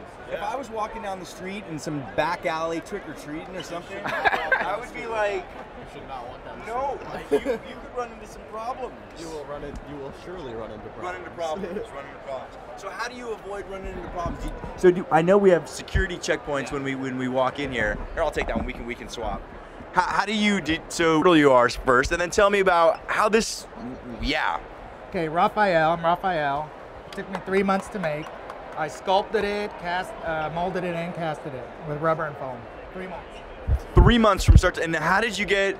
I, I, I'm, I have so many questions. I don't even know where to start. Like, how did you get the idea to be a turtle? Had you worked on fabrication stuff before? Uh, I started sculpting maybe about 10 years ago. Okay. I just just wanted to learn how to make stuff, so I bought a kit, learned how to make a mask, and went from there. So I did the Predator first, of course. Stan Winston did Predator, and then I said, man, I got to do a turtle. Who doesn't want to be a turtle? What I'm just gonna do it. So three months ago, I just got went at it, and here I am today. Sweet. And so, can you tell me a little about what are what are what is what materials did you use to put together your costume? Okay, um, it's made out of lake, just regular slip pass latex and uh, two-part foam. Two-part foam. So, so the thing that I'm immediately coming to mind, and I'm guessing probably some of our viewers want, how hot are you inside that suit right now, and how many pounds do you expect to lose over the course of the day? Probably at least half my weight, I would think. Yeah. And it's really, you know, it's really hot, but as long as I take off my head about every 15 minutes, I'm good. As long as I take off my head, I should be fine. Honestly, I, I've seen a lot of claws. These are probably some of the best ones I've seen. I mean, these look legit. Yeah, they look really cool. We did, uh, we've been doing a superhero fight show in the mornings for people waiting in line. and Okay. They brought us in to do that, and so we needed something that would actually withstand the fight choreography and all of that. So so far, so far they've So far, they've held together. Well, you guys look great. So thank you guys for coming out and enjoy the rest of Comikaze. Yeah, you too. How did I get Who, who else? Who else we got? How we doing, guys? We surviving? Holy cow! There are a lot of people here. It is amazing. This is probably. Let's see if we can find anybody else. Uh, Assassin's Creed. Whoa. Whoa, my goodness. What's up, man? What's going on? How you doing? You look pretty good. This is uh this is some serious hardware you got. You you like you have as many guns as I think the video game actually has. Trying to be screen accurate. Screen accurate. Okay, so so tell me a little bit about putting this together. How much of it you made? How much of it you bought? What made you decide you want? Are you, do you play Assassin's Creed? I do play Assassin's Creed. The guns were bought. For right now, the wrist weapons were bought. Well, hey, show show the camera your your. wi- wi- Victims, victims, victims. Who wants to be the next victim? Whoa, small children.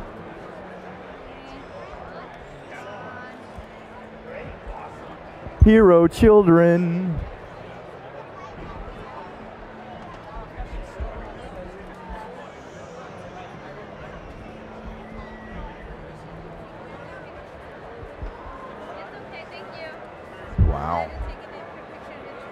So Riddler, you want to come over and show us your costume real quick? That's all right. Oh, come on. You're in mask. No one knows who you are. That's, that's okay. All right. Oh, we got some, some tough sells. Well, let's see. If it's going to fit if you're buying it online. Um, I read the description. It's the best bet. You read the description. You hear that? Reading the description. As a man, as a man, we don't always read the descriptions. I don't read the directions, but clearly, I guess when you read the directions, you get something that fits pretty well. Oh yes. So, so of all the superheroes, is, is, is Batman your favorite? Oh, of course, hands down. Okay, all right, and and but you realize though that that com that Stan Lee is a Marvel comic. Of course, that's why So- I'm here to represent DC. You're here to represent DC. So let me ask you this: So if you were had to choose a Marvel character that you liked, who would you? Who would be your favorite Marvel character? Captain America. Captain America. Captain America seems to be a pretty popular guy. You gotta be kidding me. You gotta be kidding me, really? Well, he, I've seen a lot of Captain Americas. I haven't seen too many Batmans as good as you look, but um, seen a lot of Captain Americas. takes time, dedication, dedication, of course. Well, thank you very much, Batman. I hope you have a wonderful Comic Con. You too. Take it easy. Comikaze. Wow. I don't even know where I am anymore.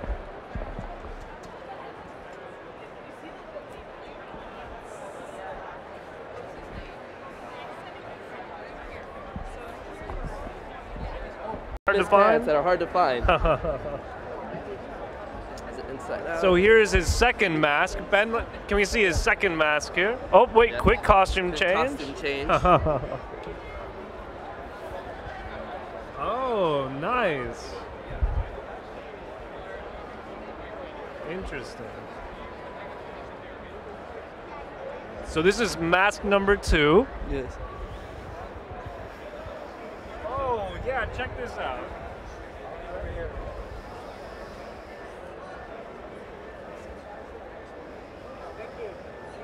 No problem. So what makes that change? Um, it's a heat-sensitive pigment that is applied to uh, uh, fabric acry- uh, acry- acrylic fabric paint, and um, it's very very nice on my face. It's it doesn't get too hot, and um, it, it- you can't see me, and it, it feels good. That's awesome. Yeah. What, what's your actual name, man? My name is Deontay. Deontay. Nice to meet you. Nice I'm to meet you, too. Thanks for stopping I by appreciate Sam it. Winston. Yeah, Have a great day. You you. too.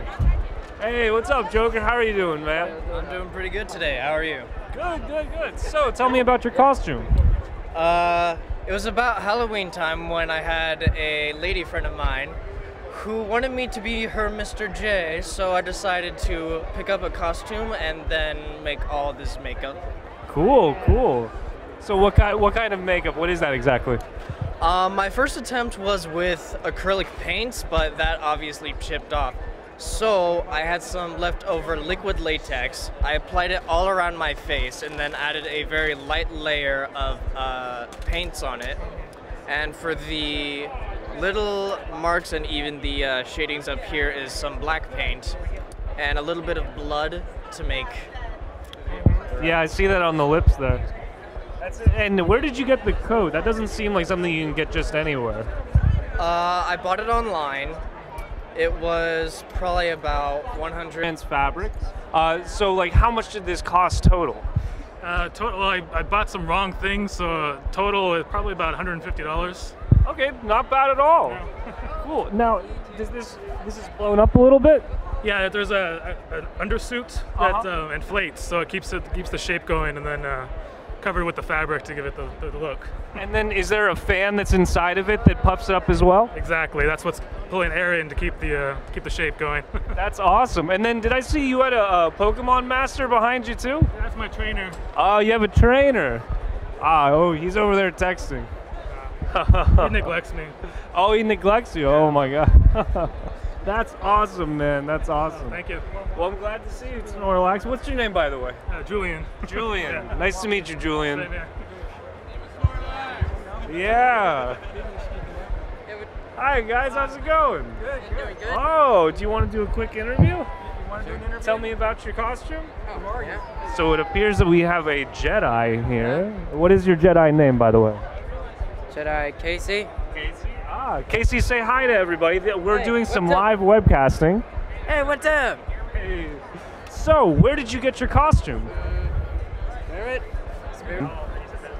That's cool, man. What's your name, by the way? Casey. Casey, how's it going? That's going alright, man. Good, good.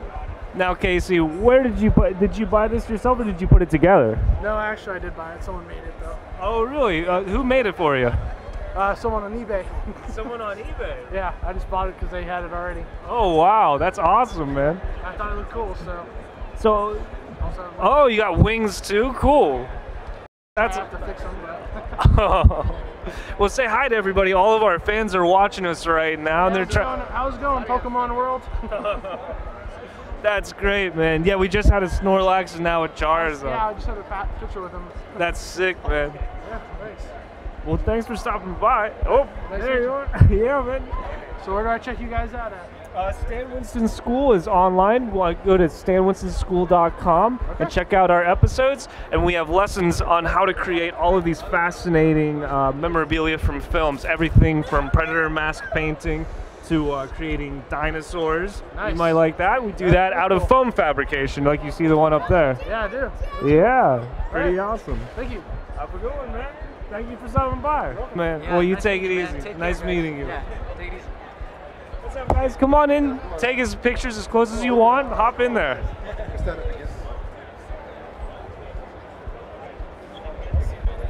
Yeah, I've seen it in action.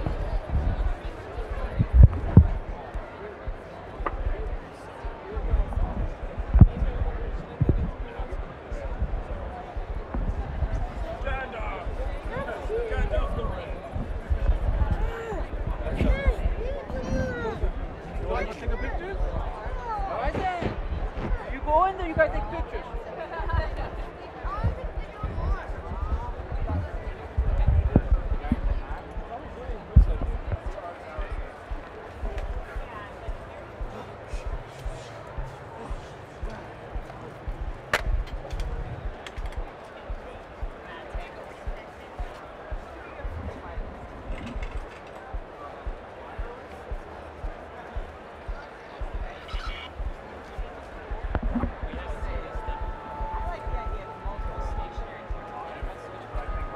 Where's his mic? Right here. On. Check, check, check. One, two.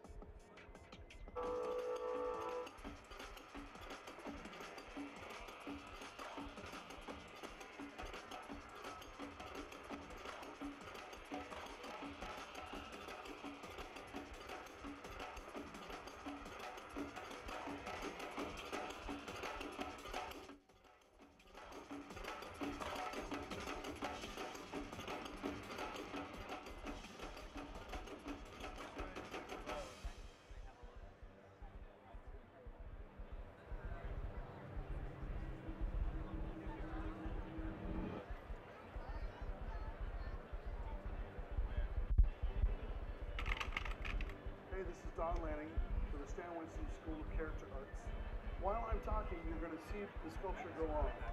This is not a situation where I'm going to sit there and slow down and finesse something or do something like that. The purpose is to show you how I block out.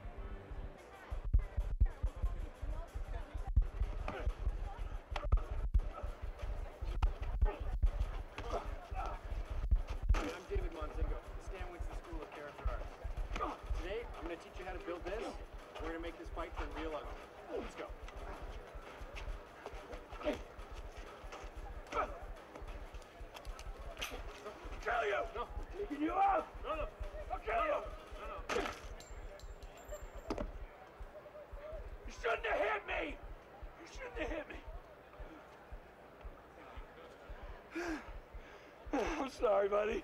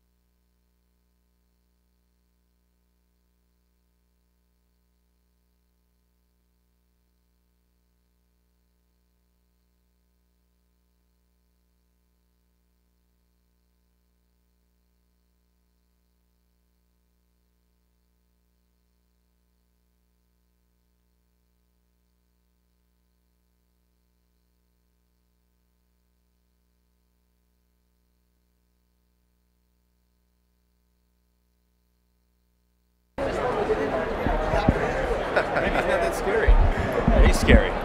Oh, bro, he's scary. I guarantee you I'm gonna change his battery, but I don't know when. Focus on your body, man. Dude, this-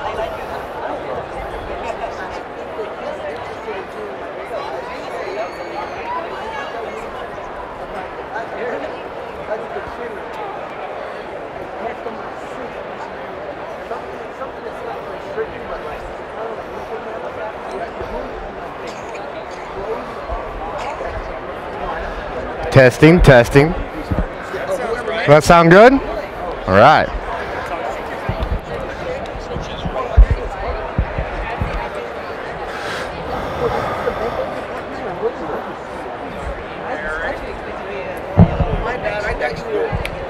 Am I wearing this thing right? Look good? I'm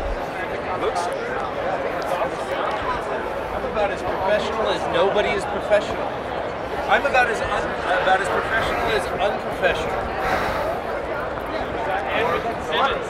See that? And Richard Simmons.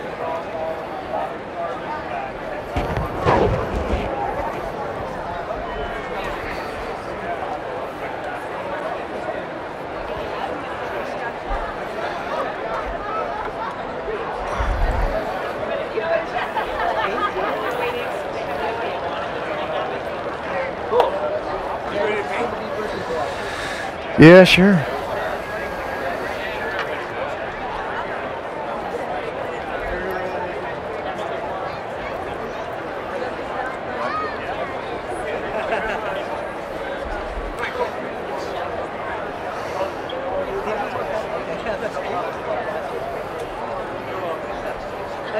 How's it going, guys?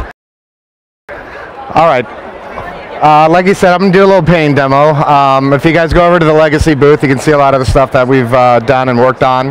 Um, I've worked on all the Iron Man movies, helped paint Iron Man since the first one, including the Avengers and and um, tons and tons of other stuff. Um, it's almost embarrassing to say because people don't believe me. Too, too much. But uh, what I'm going to do today is just a little quick demo. We're here for like two hours, so I'll get as much as I can done. Uh, I'm going to paint a little fish man that uh, my good buddy John Cherevka, one of uh, my uh, uh, my partners in painting, he, he sculpted this guy, so wanted to represent him as well. Um, so the best thing to do is just get started, and that's what we're going to do right now. Um, I'm going to start out with a Tamiya paint, which is a um, an acrylic alcohol-based paint. Uh, thins down with uh, either the Tamiya thinner or denatured alcohol. One thing you want to make sure you do is when you open it up, you can shake it for half an hour and still doesn't mix up. But make sure you you go in there with a little stir stick and uh, get all the pigment stirred in there and get the color to the maximum potential. So like I said, I'm going to start out with a little fleshy color on, a, on the uh, front of them.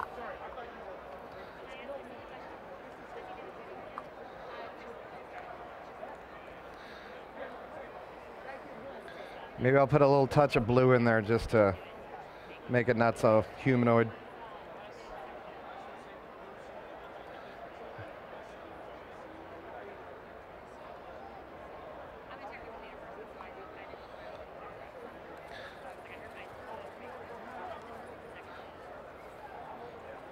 Kind of like a greeny olive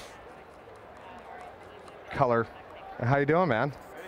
This is my buddy John Cherevka who sculpted this thing. He's a fantastic painter, sculptor, artist in general, and uh, a man that I've been in the trenches with many a times, uh, duking it out with deadlines that seem impossible, but we managed to do it. Um, you want to show your face? Hi, everybody. Did everybody? On here today. Got a master painter at work. Master what? All right, so I'm going to throw a little bit of color just kind of randomly throughout it, just so we have a uh, not so uniform kind of uh, look to it. Want to kind of omit as much as Test, test, test. Can you guys hear me? I'm going to interrupt you for a second, Jamie, to say how amazing you are. Uh, welcome to the Stan Winston School booth here at Comikaze. Who loves Comikaze? Who needs Comic Con? Come on. And it's nice. I live in LA. We can all go home after this. Uh, Jamie Grove. Uh, this man is one of the premier artists in creature effects and character creation. He is the man who, when it's time to paint an Iron Man suit, this is the guy who does it. Uh, when it's time to uh, paint an Iron Monger, call Jamie. When it's time to paint a zombie or an alien or anything else, this man is one of the tops with aspiring students around the world using the internet as our medium for education. Uh, we have a massive library of tutorials from the very best in the business on everything from design to sculpture to puppetry to mold making, lab work, digital work, and it's all being taught by the best in the business. And we're online. So stanwinstonSchool.com, just log in. You can start learning from the best. Um, and without further ado, I'll let you guys learn a little bit from this guy. Jamie Grove, one of Hollywood's great painters. One more time for Jamie. yeah. Cool. Now that I'm embarrassed, thanks. Um, we'll continue. uh, so we'll start putting a, a second color on here. Let's try to get some kind of a pattern going on here that I can work with. Again, just freestyle kind of paint and having fun with it and not being afraid to dig in and have a good time.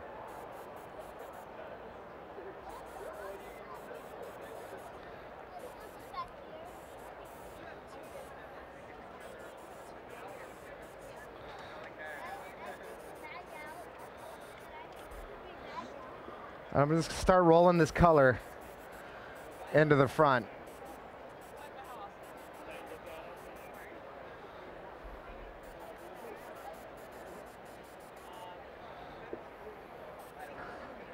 I don't even know, maybe like 15. Um, if I'm running silicone or rubber cement, it usually goes higher. I would say 30 to 40. Um,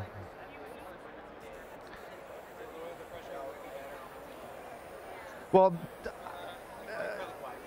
uh, acrylic wise, yeah. If you if you if you blow it too fast out of your nozzle, it'll tend to dry and create like this weird cone crust shape and it kind of gets in the way while you're painting.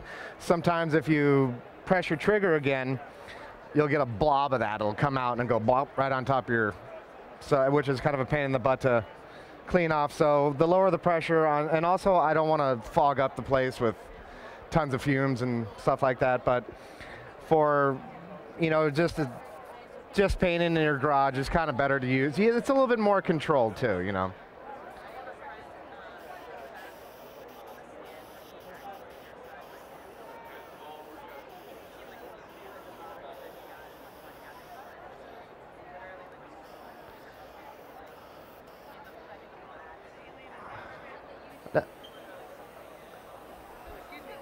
Superhero movies and being a superhero fan myself, it's always rad to see what what's gonna go on. You know, for worked on Thor, when I saw Thor, it's like sweet, he looks great, man. You know, and uh, you know, you, we put on the suits for Iron Man, and to be a part of that was great. And uh, put on the suit for Spider-Man was was a blast, and it, it it's a it's a lot of fun to be a part of that. You know, because like I said, being a fan when I was a kid, this was, I'd sit in my room for hours and read comics and now to actually be, bring it, help bring it to life and to be a big part of it is uh, pretty rewarding. And it's something that'll live on forever too, you know, it'll, you know, my name will be in the credits forever. Makeup of some fleshy areas and help bring it to life.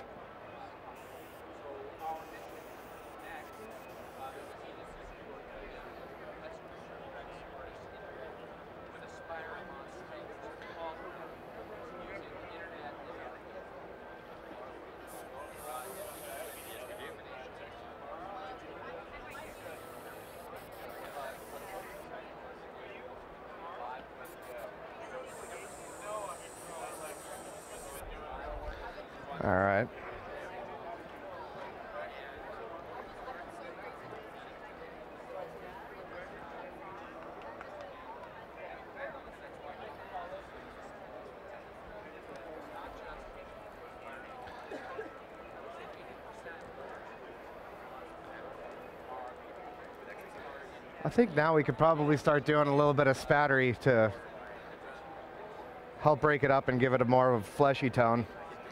And all we're going to do to mix up the paint for that is we're going to thin it down just a little bit more than we would normally. If I can get this color open. And then um, going in.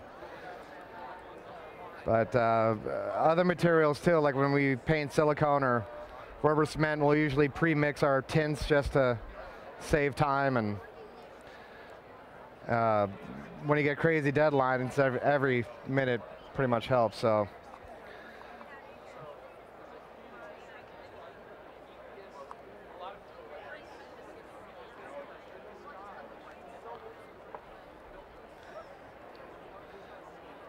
Again, I'm still continuing with the spatter color, so.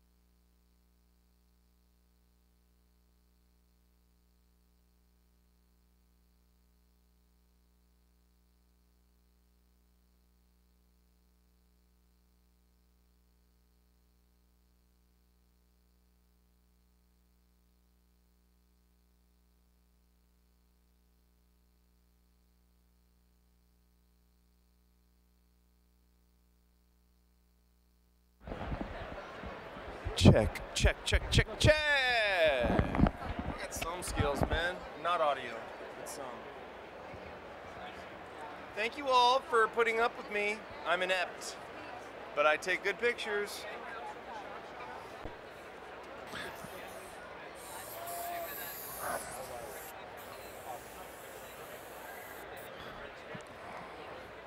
All right, I'm going to switch out airbrushes and uh, do a little bit more.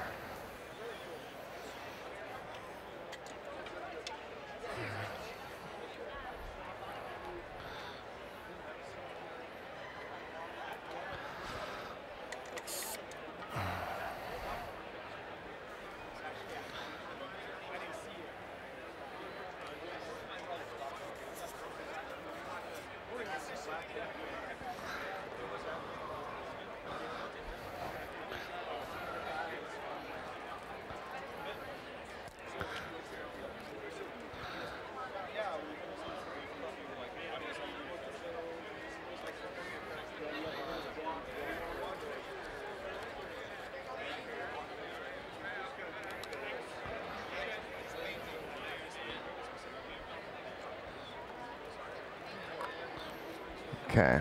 Got like a darker blue in here. We'll start mapping out some cool patterns. This man has uh, worked on uh, so many movies that you know. Just shout out some of the the winners. All the Iron Mans, All the Iron Man movies, The Avengers, the Avengers, uh, Cowboys and Aliens, Cowboys and Aliens, Real Real Steel, Avatar. Avatar. Anyone Avatar? That one went straight to video, but uh, War of the Worlds. Uh, needless to say, this guy's a genius, and today he's showing you a little bit uh, about how he uh, achieves those magical effects with paint. Um, in effects, you have to be able to uh, turn something into something it's not. You need to be able to take plastic and turn it into metal. You need to be able to take foam.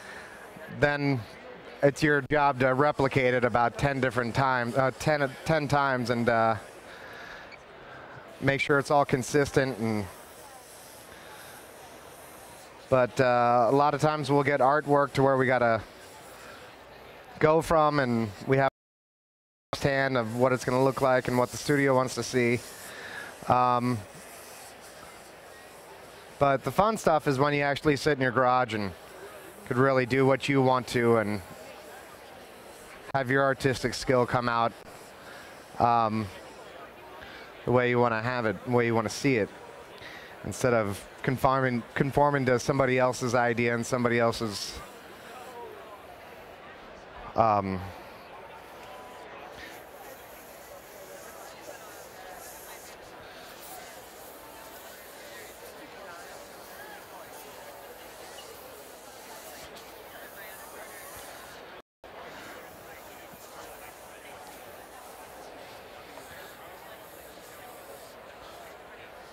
And with the uh, dual action airbrush, you, you can get a lot tighter lines and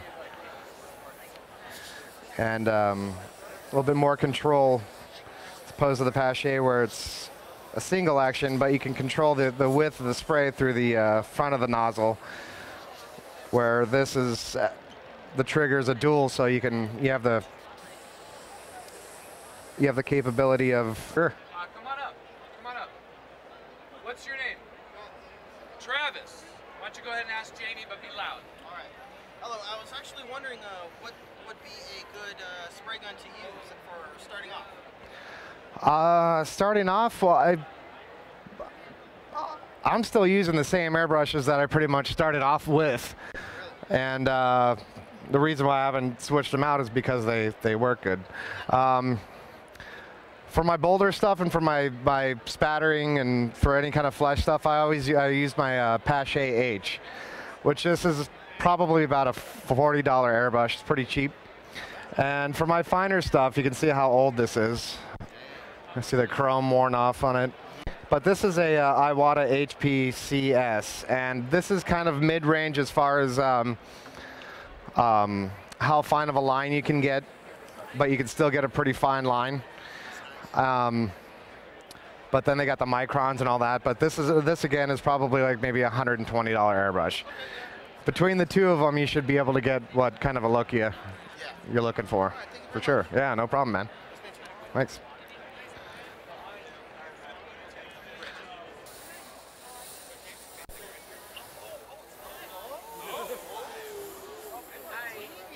What's up, dude? How are you? How's it going? I've worked with Jordu before. A- ADI. A couple of times, I think. How are you, man? Does anybody know Jordu Schell here? One of the best sculptors around? Artists around, I should say. Get a microphone for George. Too late.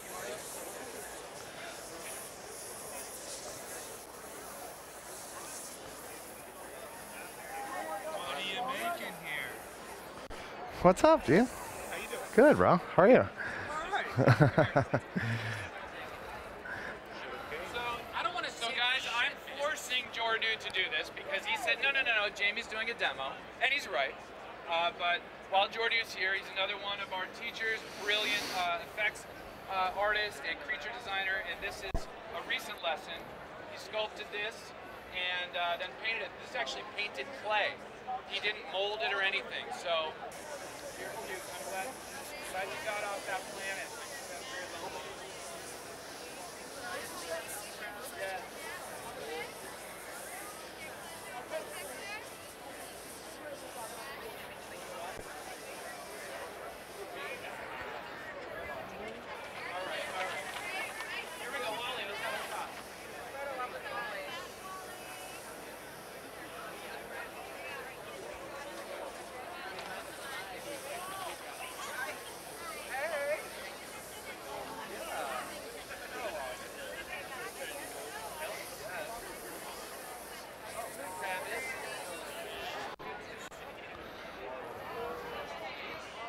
You get a shot of Wally there?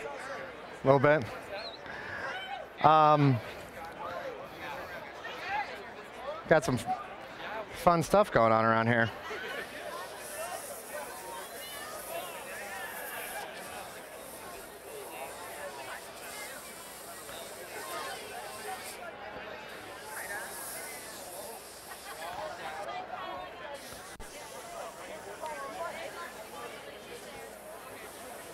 And then from there I'll thin it down some more to get a nice flow that I want. You know, it, it depends on what you're looking for, pretty much. It's kind of what suits your style, what you need. Yeah, that's for, for dry brush and stuff like that, and it's a pretty readily available paint and inexpensive too, which is which is great. And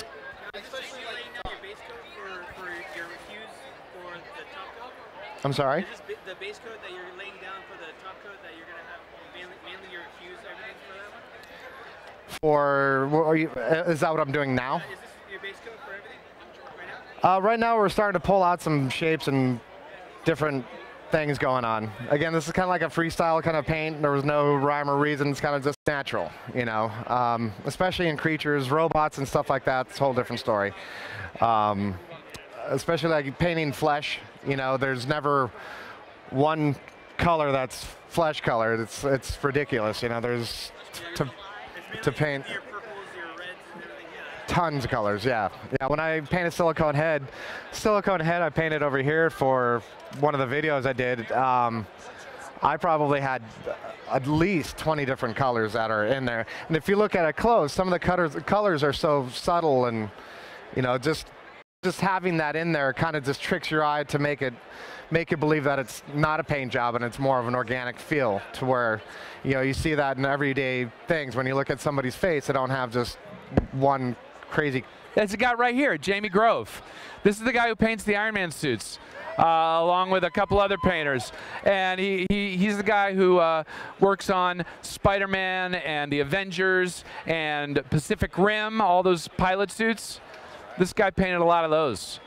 He is uh, he's one of the best artists in Hollywood, and you are here watching him share some of the techniques that he uses to create your favorite characters for the movies. Um, he's painting this little bust here, but all the techniques he, he's using are, are also used in movies. So if you have questions, if you're a cosplayer, if you like making your own art, uh, this is one of the best in Hollywood. He's here to answer your questions and show you a little bit about what he does.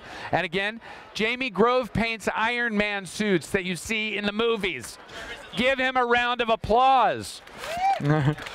All right, and check it out. He's going to be demoing for a little while, and uh, he's here to answer your questions. Whoa. And he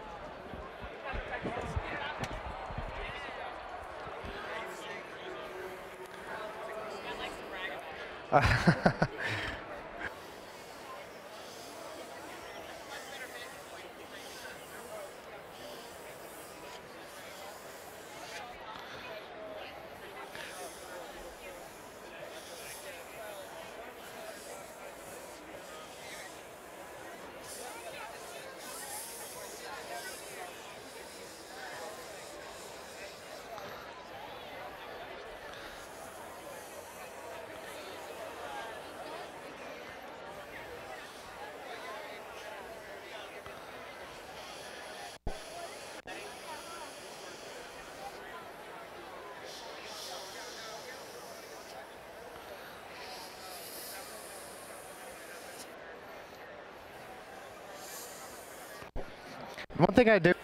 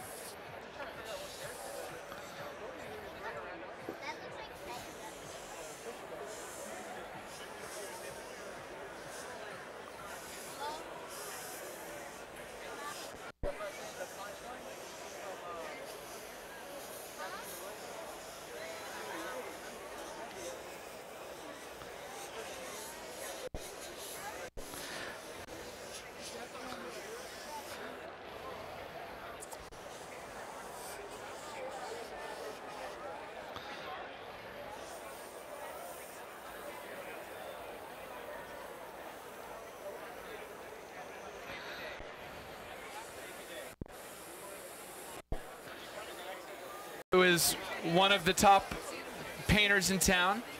And uh, if you guys have any questions for him about his techniques, just shout him out. Yeah, He's sharing means. the secrets today. All the secrets. Secrets. The secrets. The secrets of life. Any er- cosplayers want to come in here and show us your stuff? Anyone in makeup? No? I'm looking for someone in makeup. Why aren't you dressed up, guys? Uh, you play make believe all week long. On the weekend, why bother? exactly. I can just be me.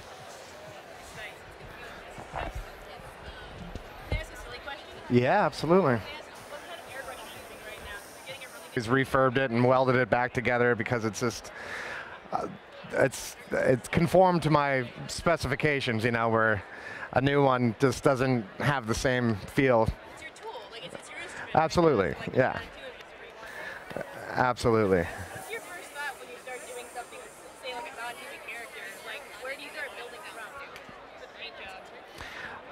It all depends. Like right now, I'm just kind of just winging it. Um, if I had time to sit down and, and think about it, everything would be completely different. But um, I'm just trying to show some different techniques and how fun it can be, and you know, it shouldn't be frustrating. But again, it all comes from imagination and what you want to see.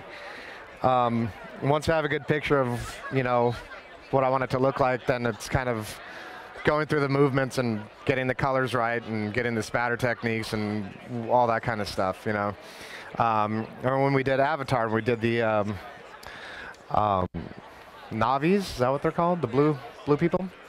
Um, I remember some of our designs were so specific, and I remember John Rosengrant, my boss, was telling me, he's like, you know what, we had these exact pictures of what he wanted them to look like, but in the stripes and striations and, and things that it had, but different colors and everything.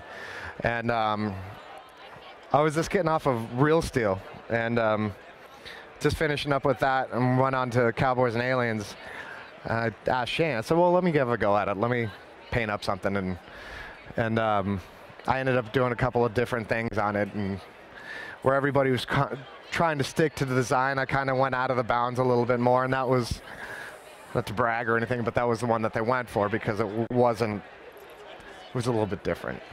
It's funner, yeah, exactly. Kind of, I, I, all I did was was add more realism to it instead of like a, a f- hokey, cartoony illustration, you know. Too, you know, one of the things that we try to replicate is. Uh, you know, just take day-to-day things for advice. Or, for example, like if you go look at your car, if your car's dirty, you see that, that residue from the dirt and the rain coming out, and you know, we try to replicate that on something that's going to be in the elements. You know, not in such a pristine paint job, or you know, everybody wants something to look cool and really neat and pristine, but to me, that always kind of looks funny. It looks like a new car. You know, it's uh, it's cool if that's what it's for, but in the real world, you give it a day, it's already weathered. You know, if there's a robot walking around and within one day, it's going to have scratches all over it. You know, so. And a good thing too about doing stuff like that is when you are on set, um, you already have scratches in there. You'll never notice the new ones either. So. or, just leave it as is. That's it. That's part of the environment. That's what happens to it. Yeah.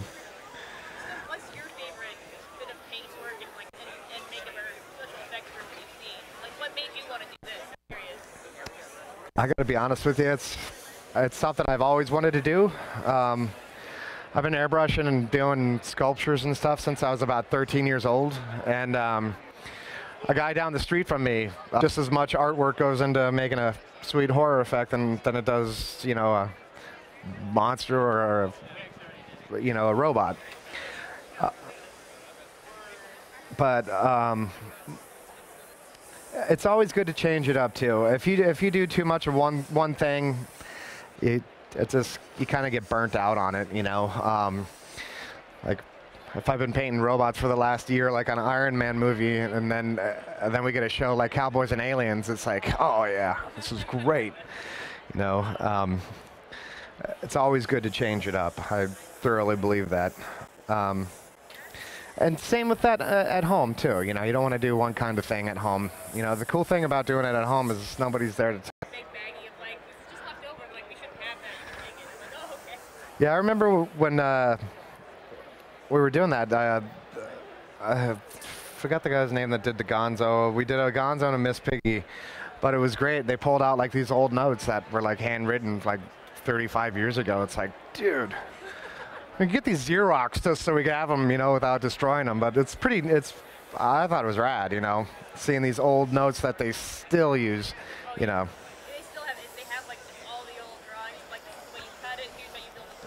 Yeah. yeah.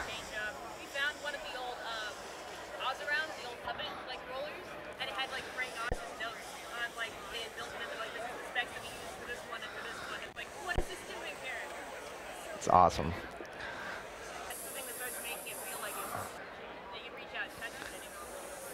You know, it's uh, it's one of those things too that um, if you have a uh, an okay sculpture or a uh, mediocre sculpture, you could really bring it out by doing a good paint job on it and make it look a lot, a lot higher quality than it than it is.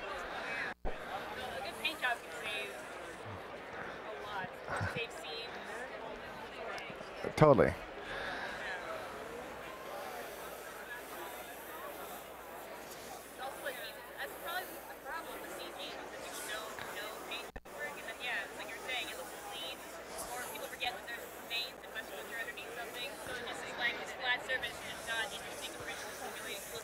Exactly. That's right. That or even if they get confused, they kind of put a blur into it too, you know, where it's like you don't know quite what you're looking at. Yeah. I know it, but it's one of those ones where every once in a while I realize like I don't know exactly how to go about it, so I'm trying to figure out good bases to go into, like how you look at it, how you figure out where things need to go, what colors you want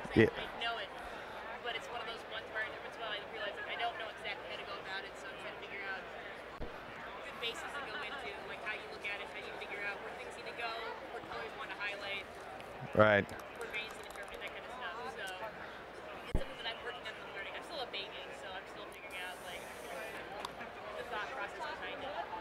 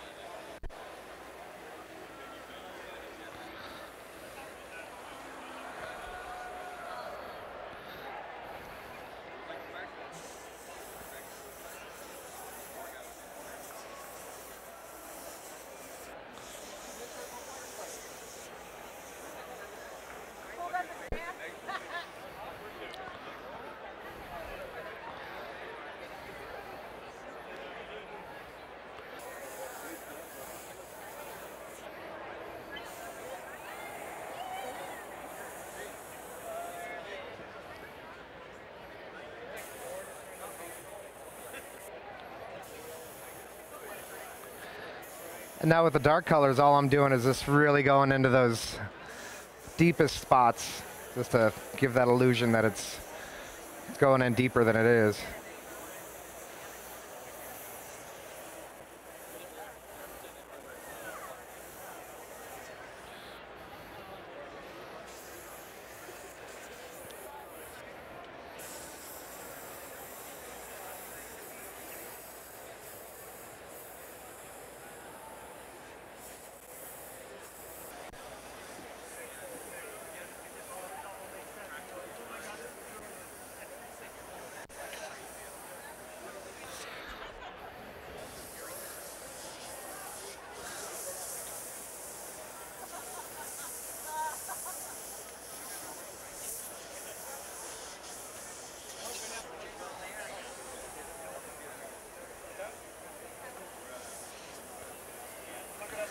Now too with this darkest color that I'm using here, I'm just adding a little bit more stuff to it, stuff that I'm seeing as I'm painting it, painting it kind of adding more bulbousy kind of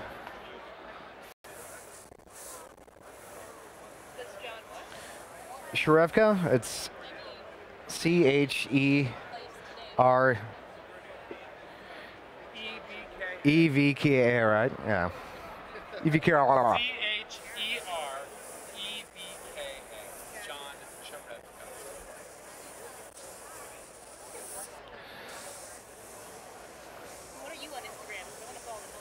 Jamie Grove, JSG. uh, What is it? I think it's uh, JSGFX Jamie. Or you just type in my name, Jamie Grove, and it should pop up.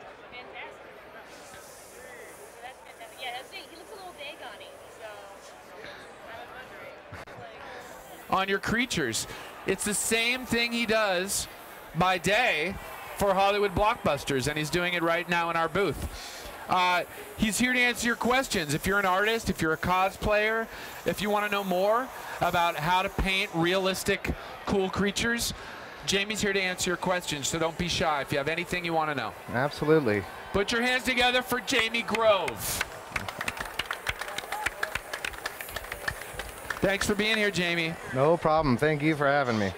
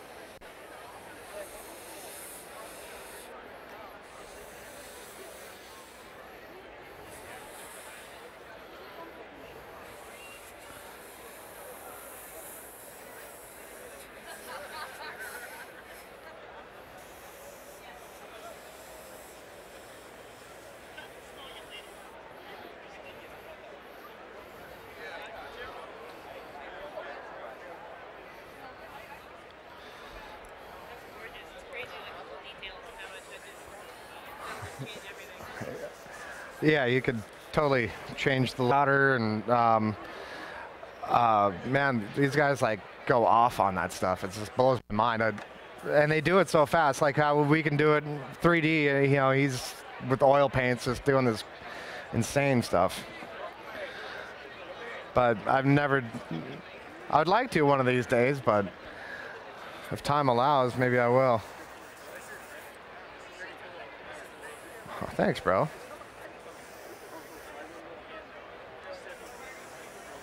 Do you paint, sculpt?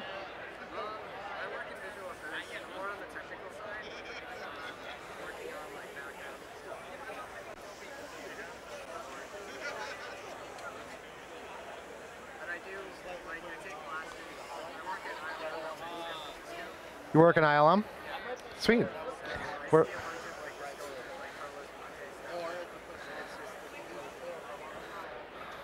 I've worked with those guys a few times. Almost on every movie. But cool, man. That's great. You in town for a little bit, or?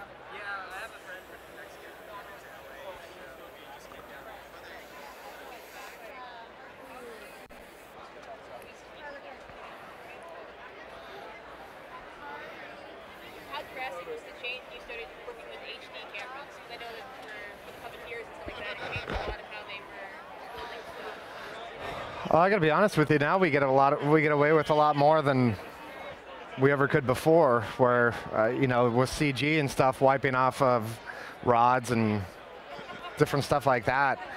Um, stuff where like back in the day where you had to be creative to hide stuff under floors and this and that, so it actually was this real moving thing. We can get a lot. We get away, get away with a lot of stuff. You got some guy in a green suit with a rod holding it right there, and they'll just wipe them away later, you know. And um,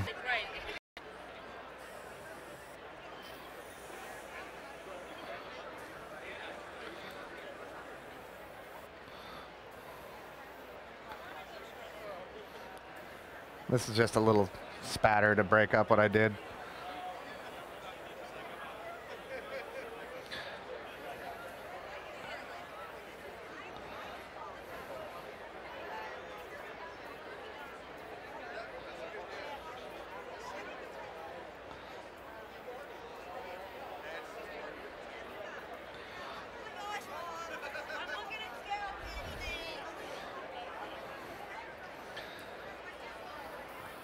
Now I'll take a brush and just do like small details, like paint the eyes and just paint the teeth and maybe a couple of other little lines in there, and we'll call it done for a quickie two-hour paint job.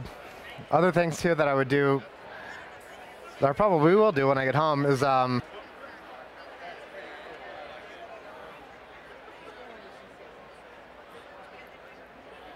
Yeah, uh, yeah.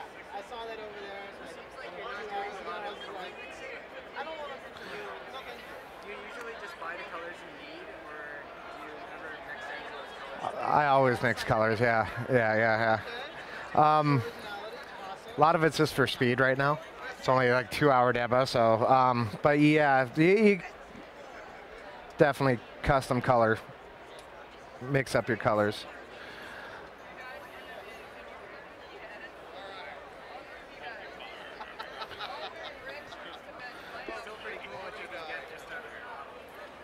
To get it what? what you got just out of the bottle without mixing. That was only a couple of colors of that.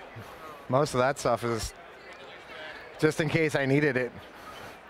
I didn't really go into this having an idea of what it was going to look like. It was just kind of showing different techniques and, you know, not being afraid to get in there and paint.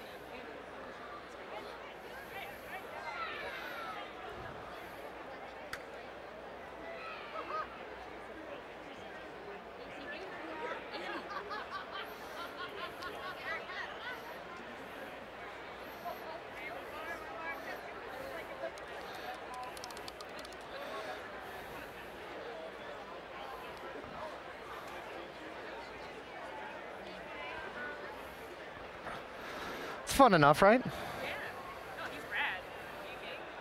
You and thanks so much for coming out. You're a star. Um, I don't like carrying on the show when Matt's not here. So watch Jamie clean up. Who's coming Uh, next? Uh, coming up next tonight? Nobody. Do we have anyone tonight? No. No, but we may bring the interviews. People off the floor again after he's done. But tomorrow we have. Tomorrow we got somebody. Who do we have tomorrow, guys? We have great. Swift. We have Christopher Swift, Chris Swift, another thank you. Stan Winston Studio uh, treasure, and also ageless. Swifty's badass. Uh, and we have some great stuff from Swifty in our library too, and uh, we cover a lot of the stuff behind the scenes. If you haven't checked out our YouTube channel that you're on right now, you can start clicking around and finding all these behind the scenes pieces that come from 35 years of filmmaking with Stan and his, his artists. Jamie appears there as a little boy, and so does Christopher Swift and John Cherevka, Trevor Hensley, um, John Rosengrant, and all the guys, Alan Scott, who were there for a long time too. So uh, thanks again to Jamie. Maybe we'll pan the camera around. We'll just sh- show you how many people are here and hanging around. And uh,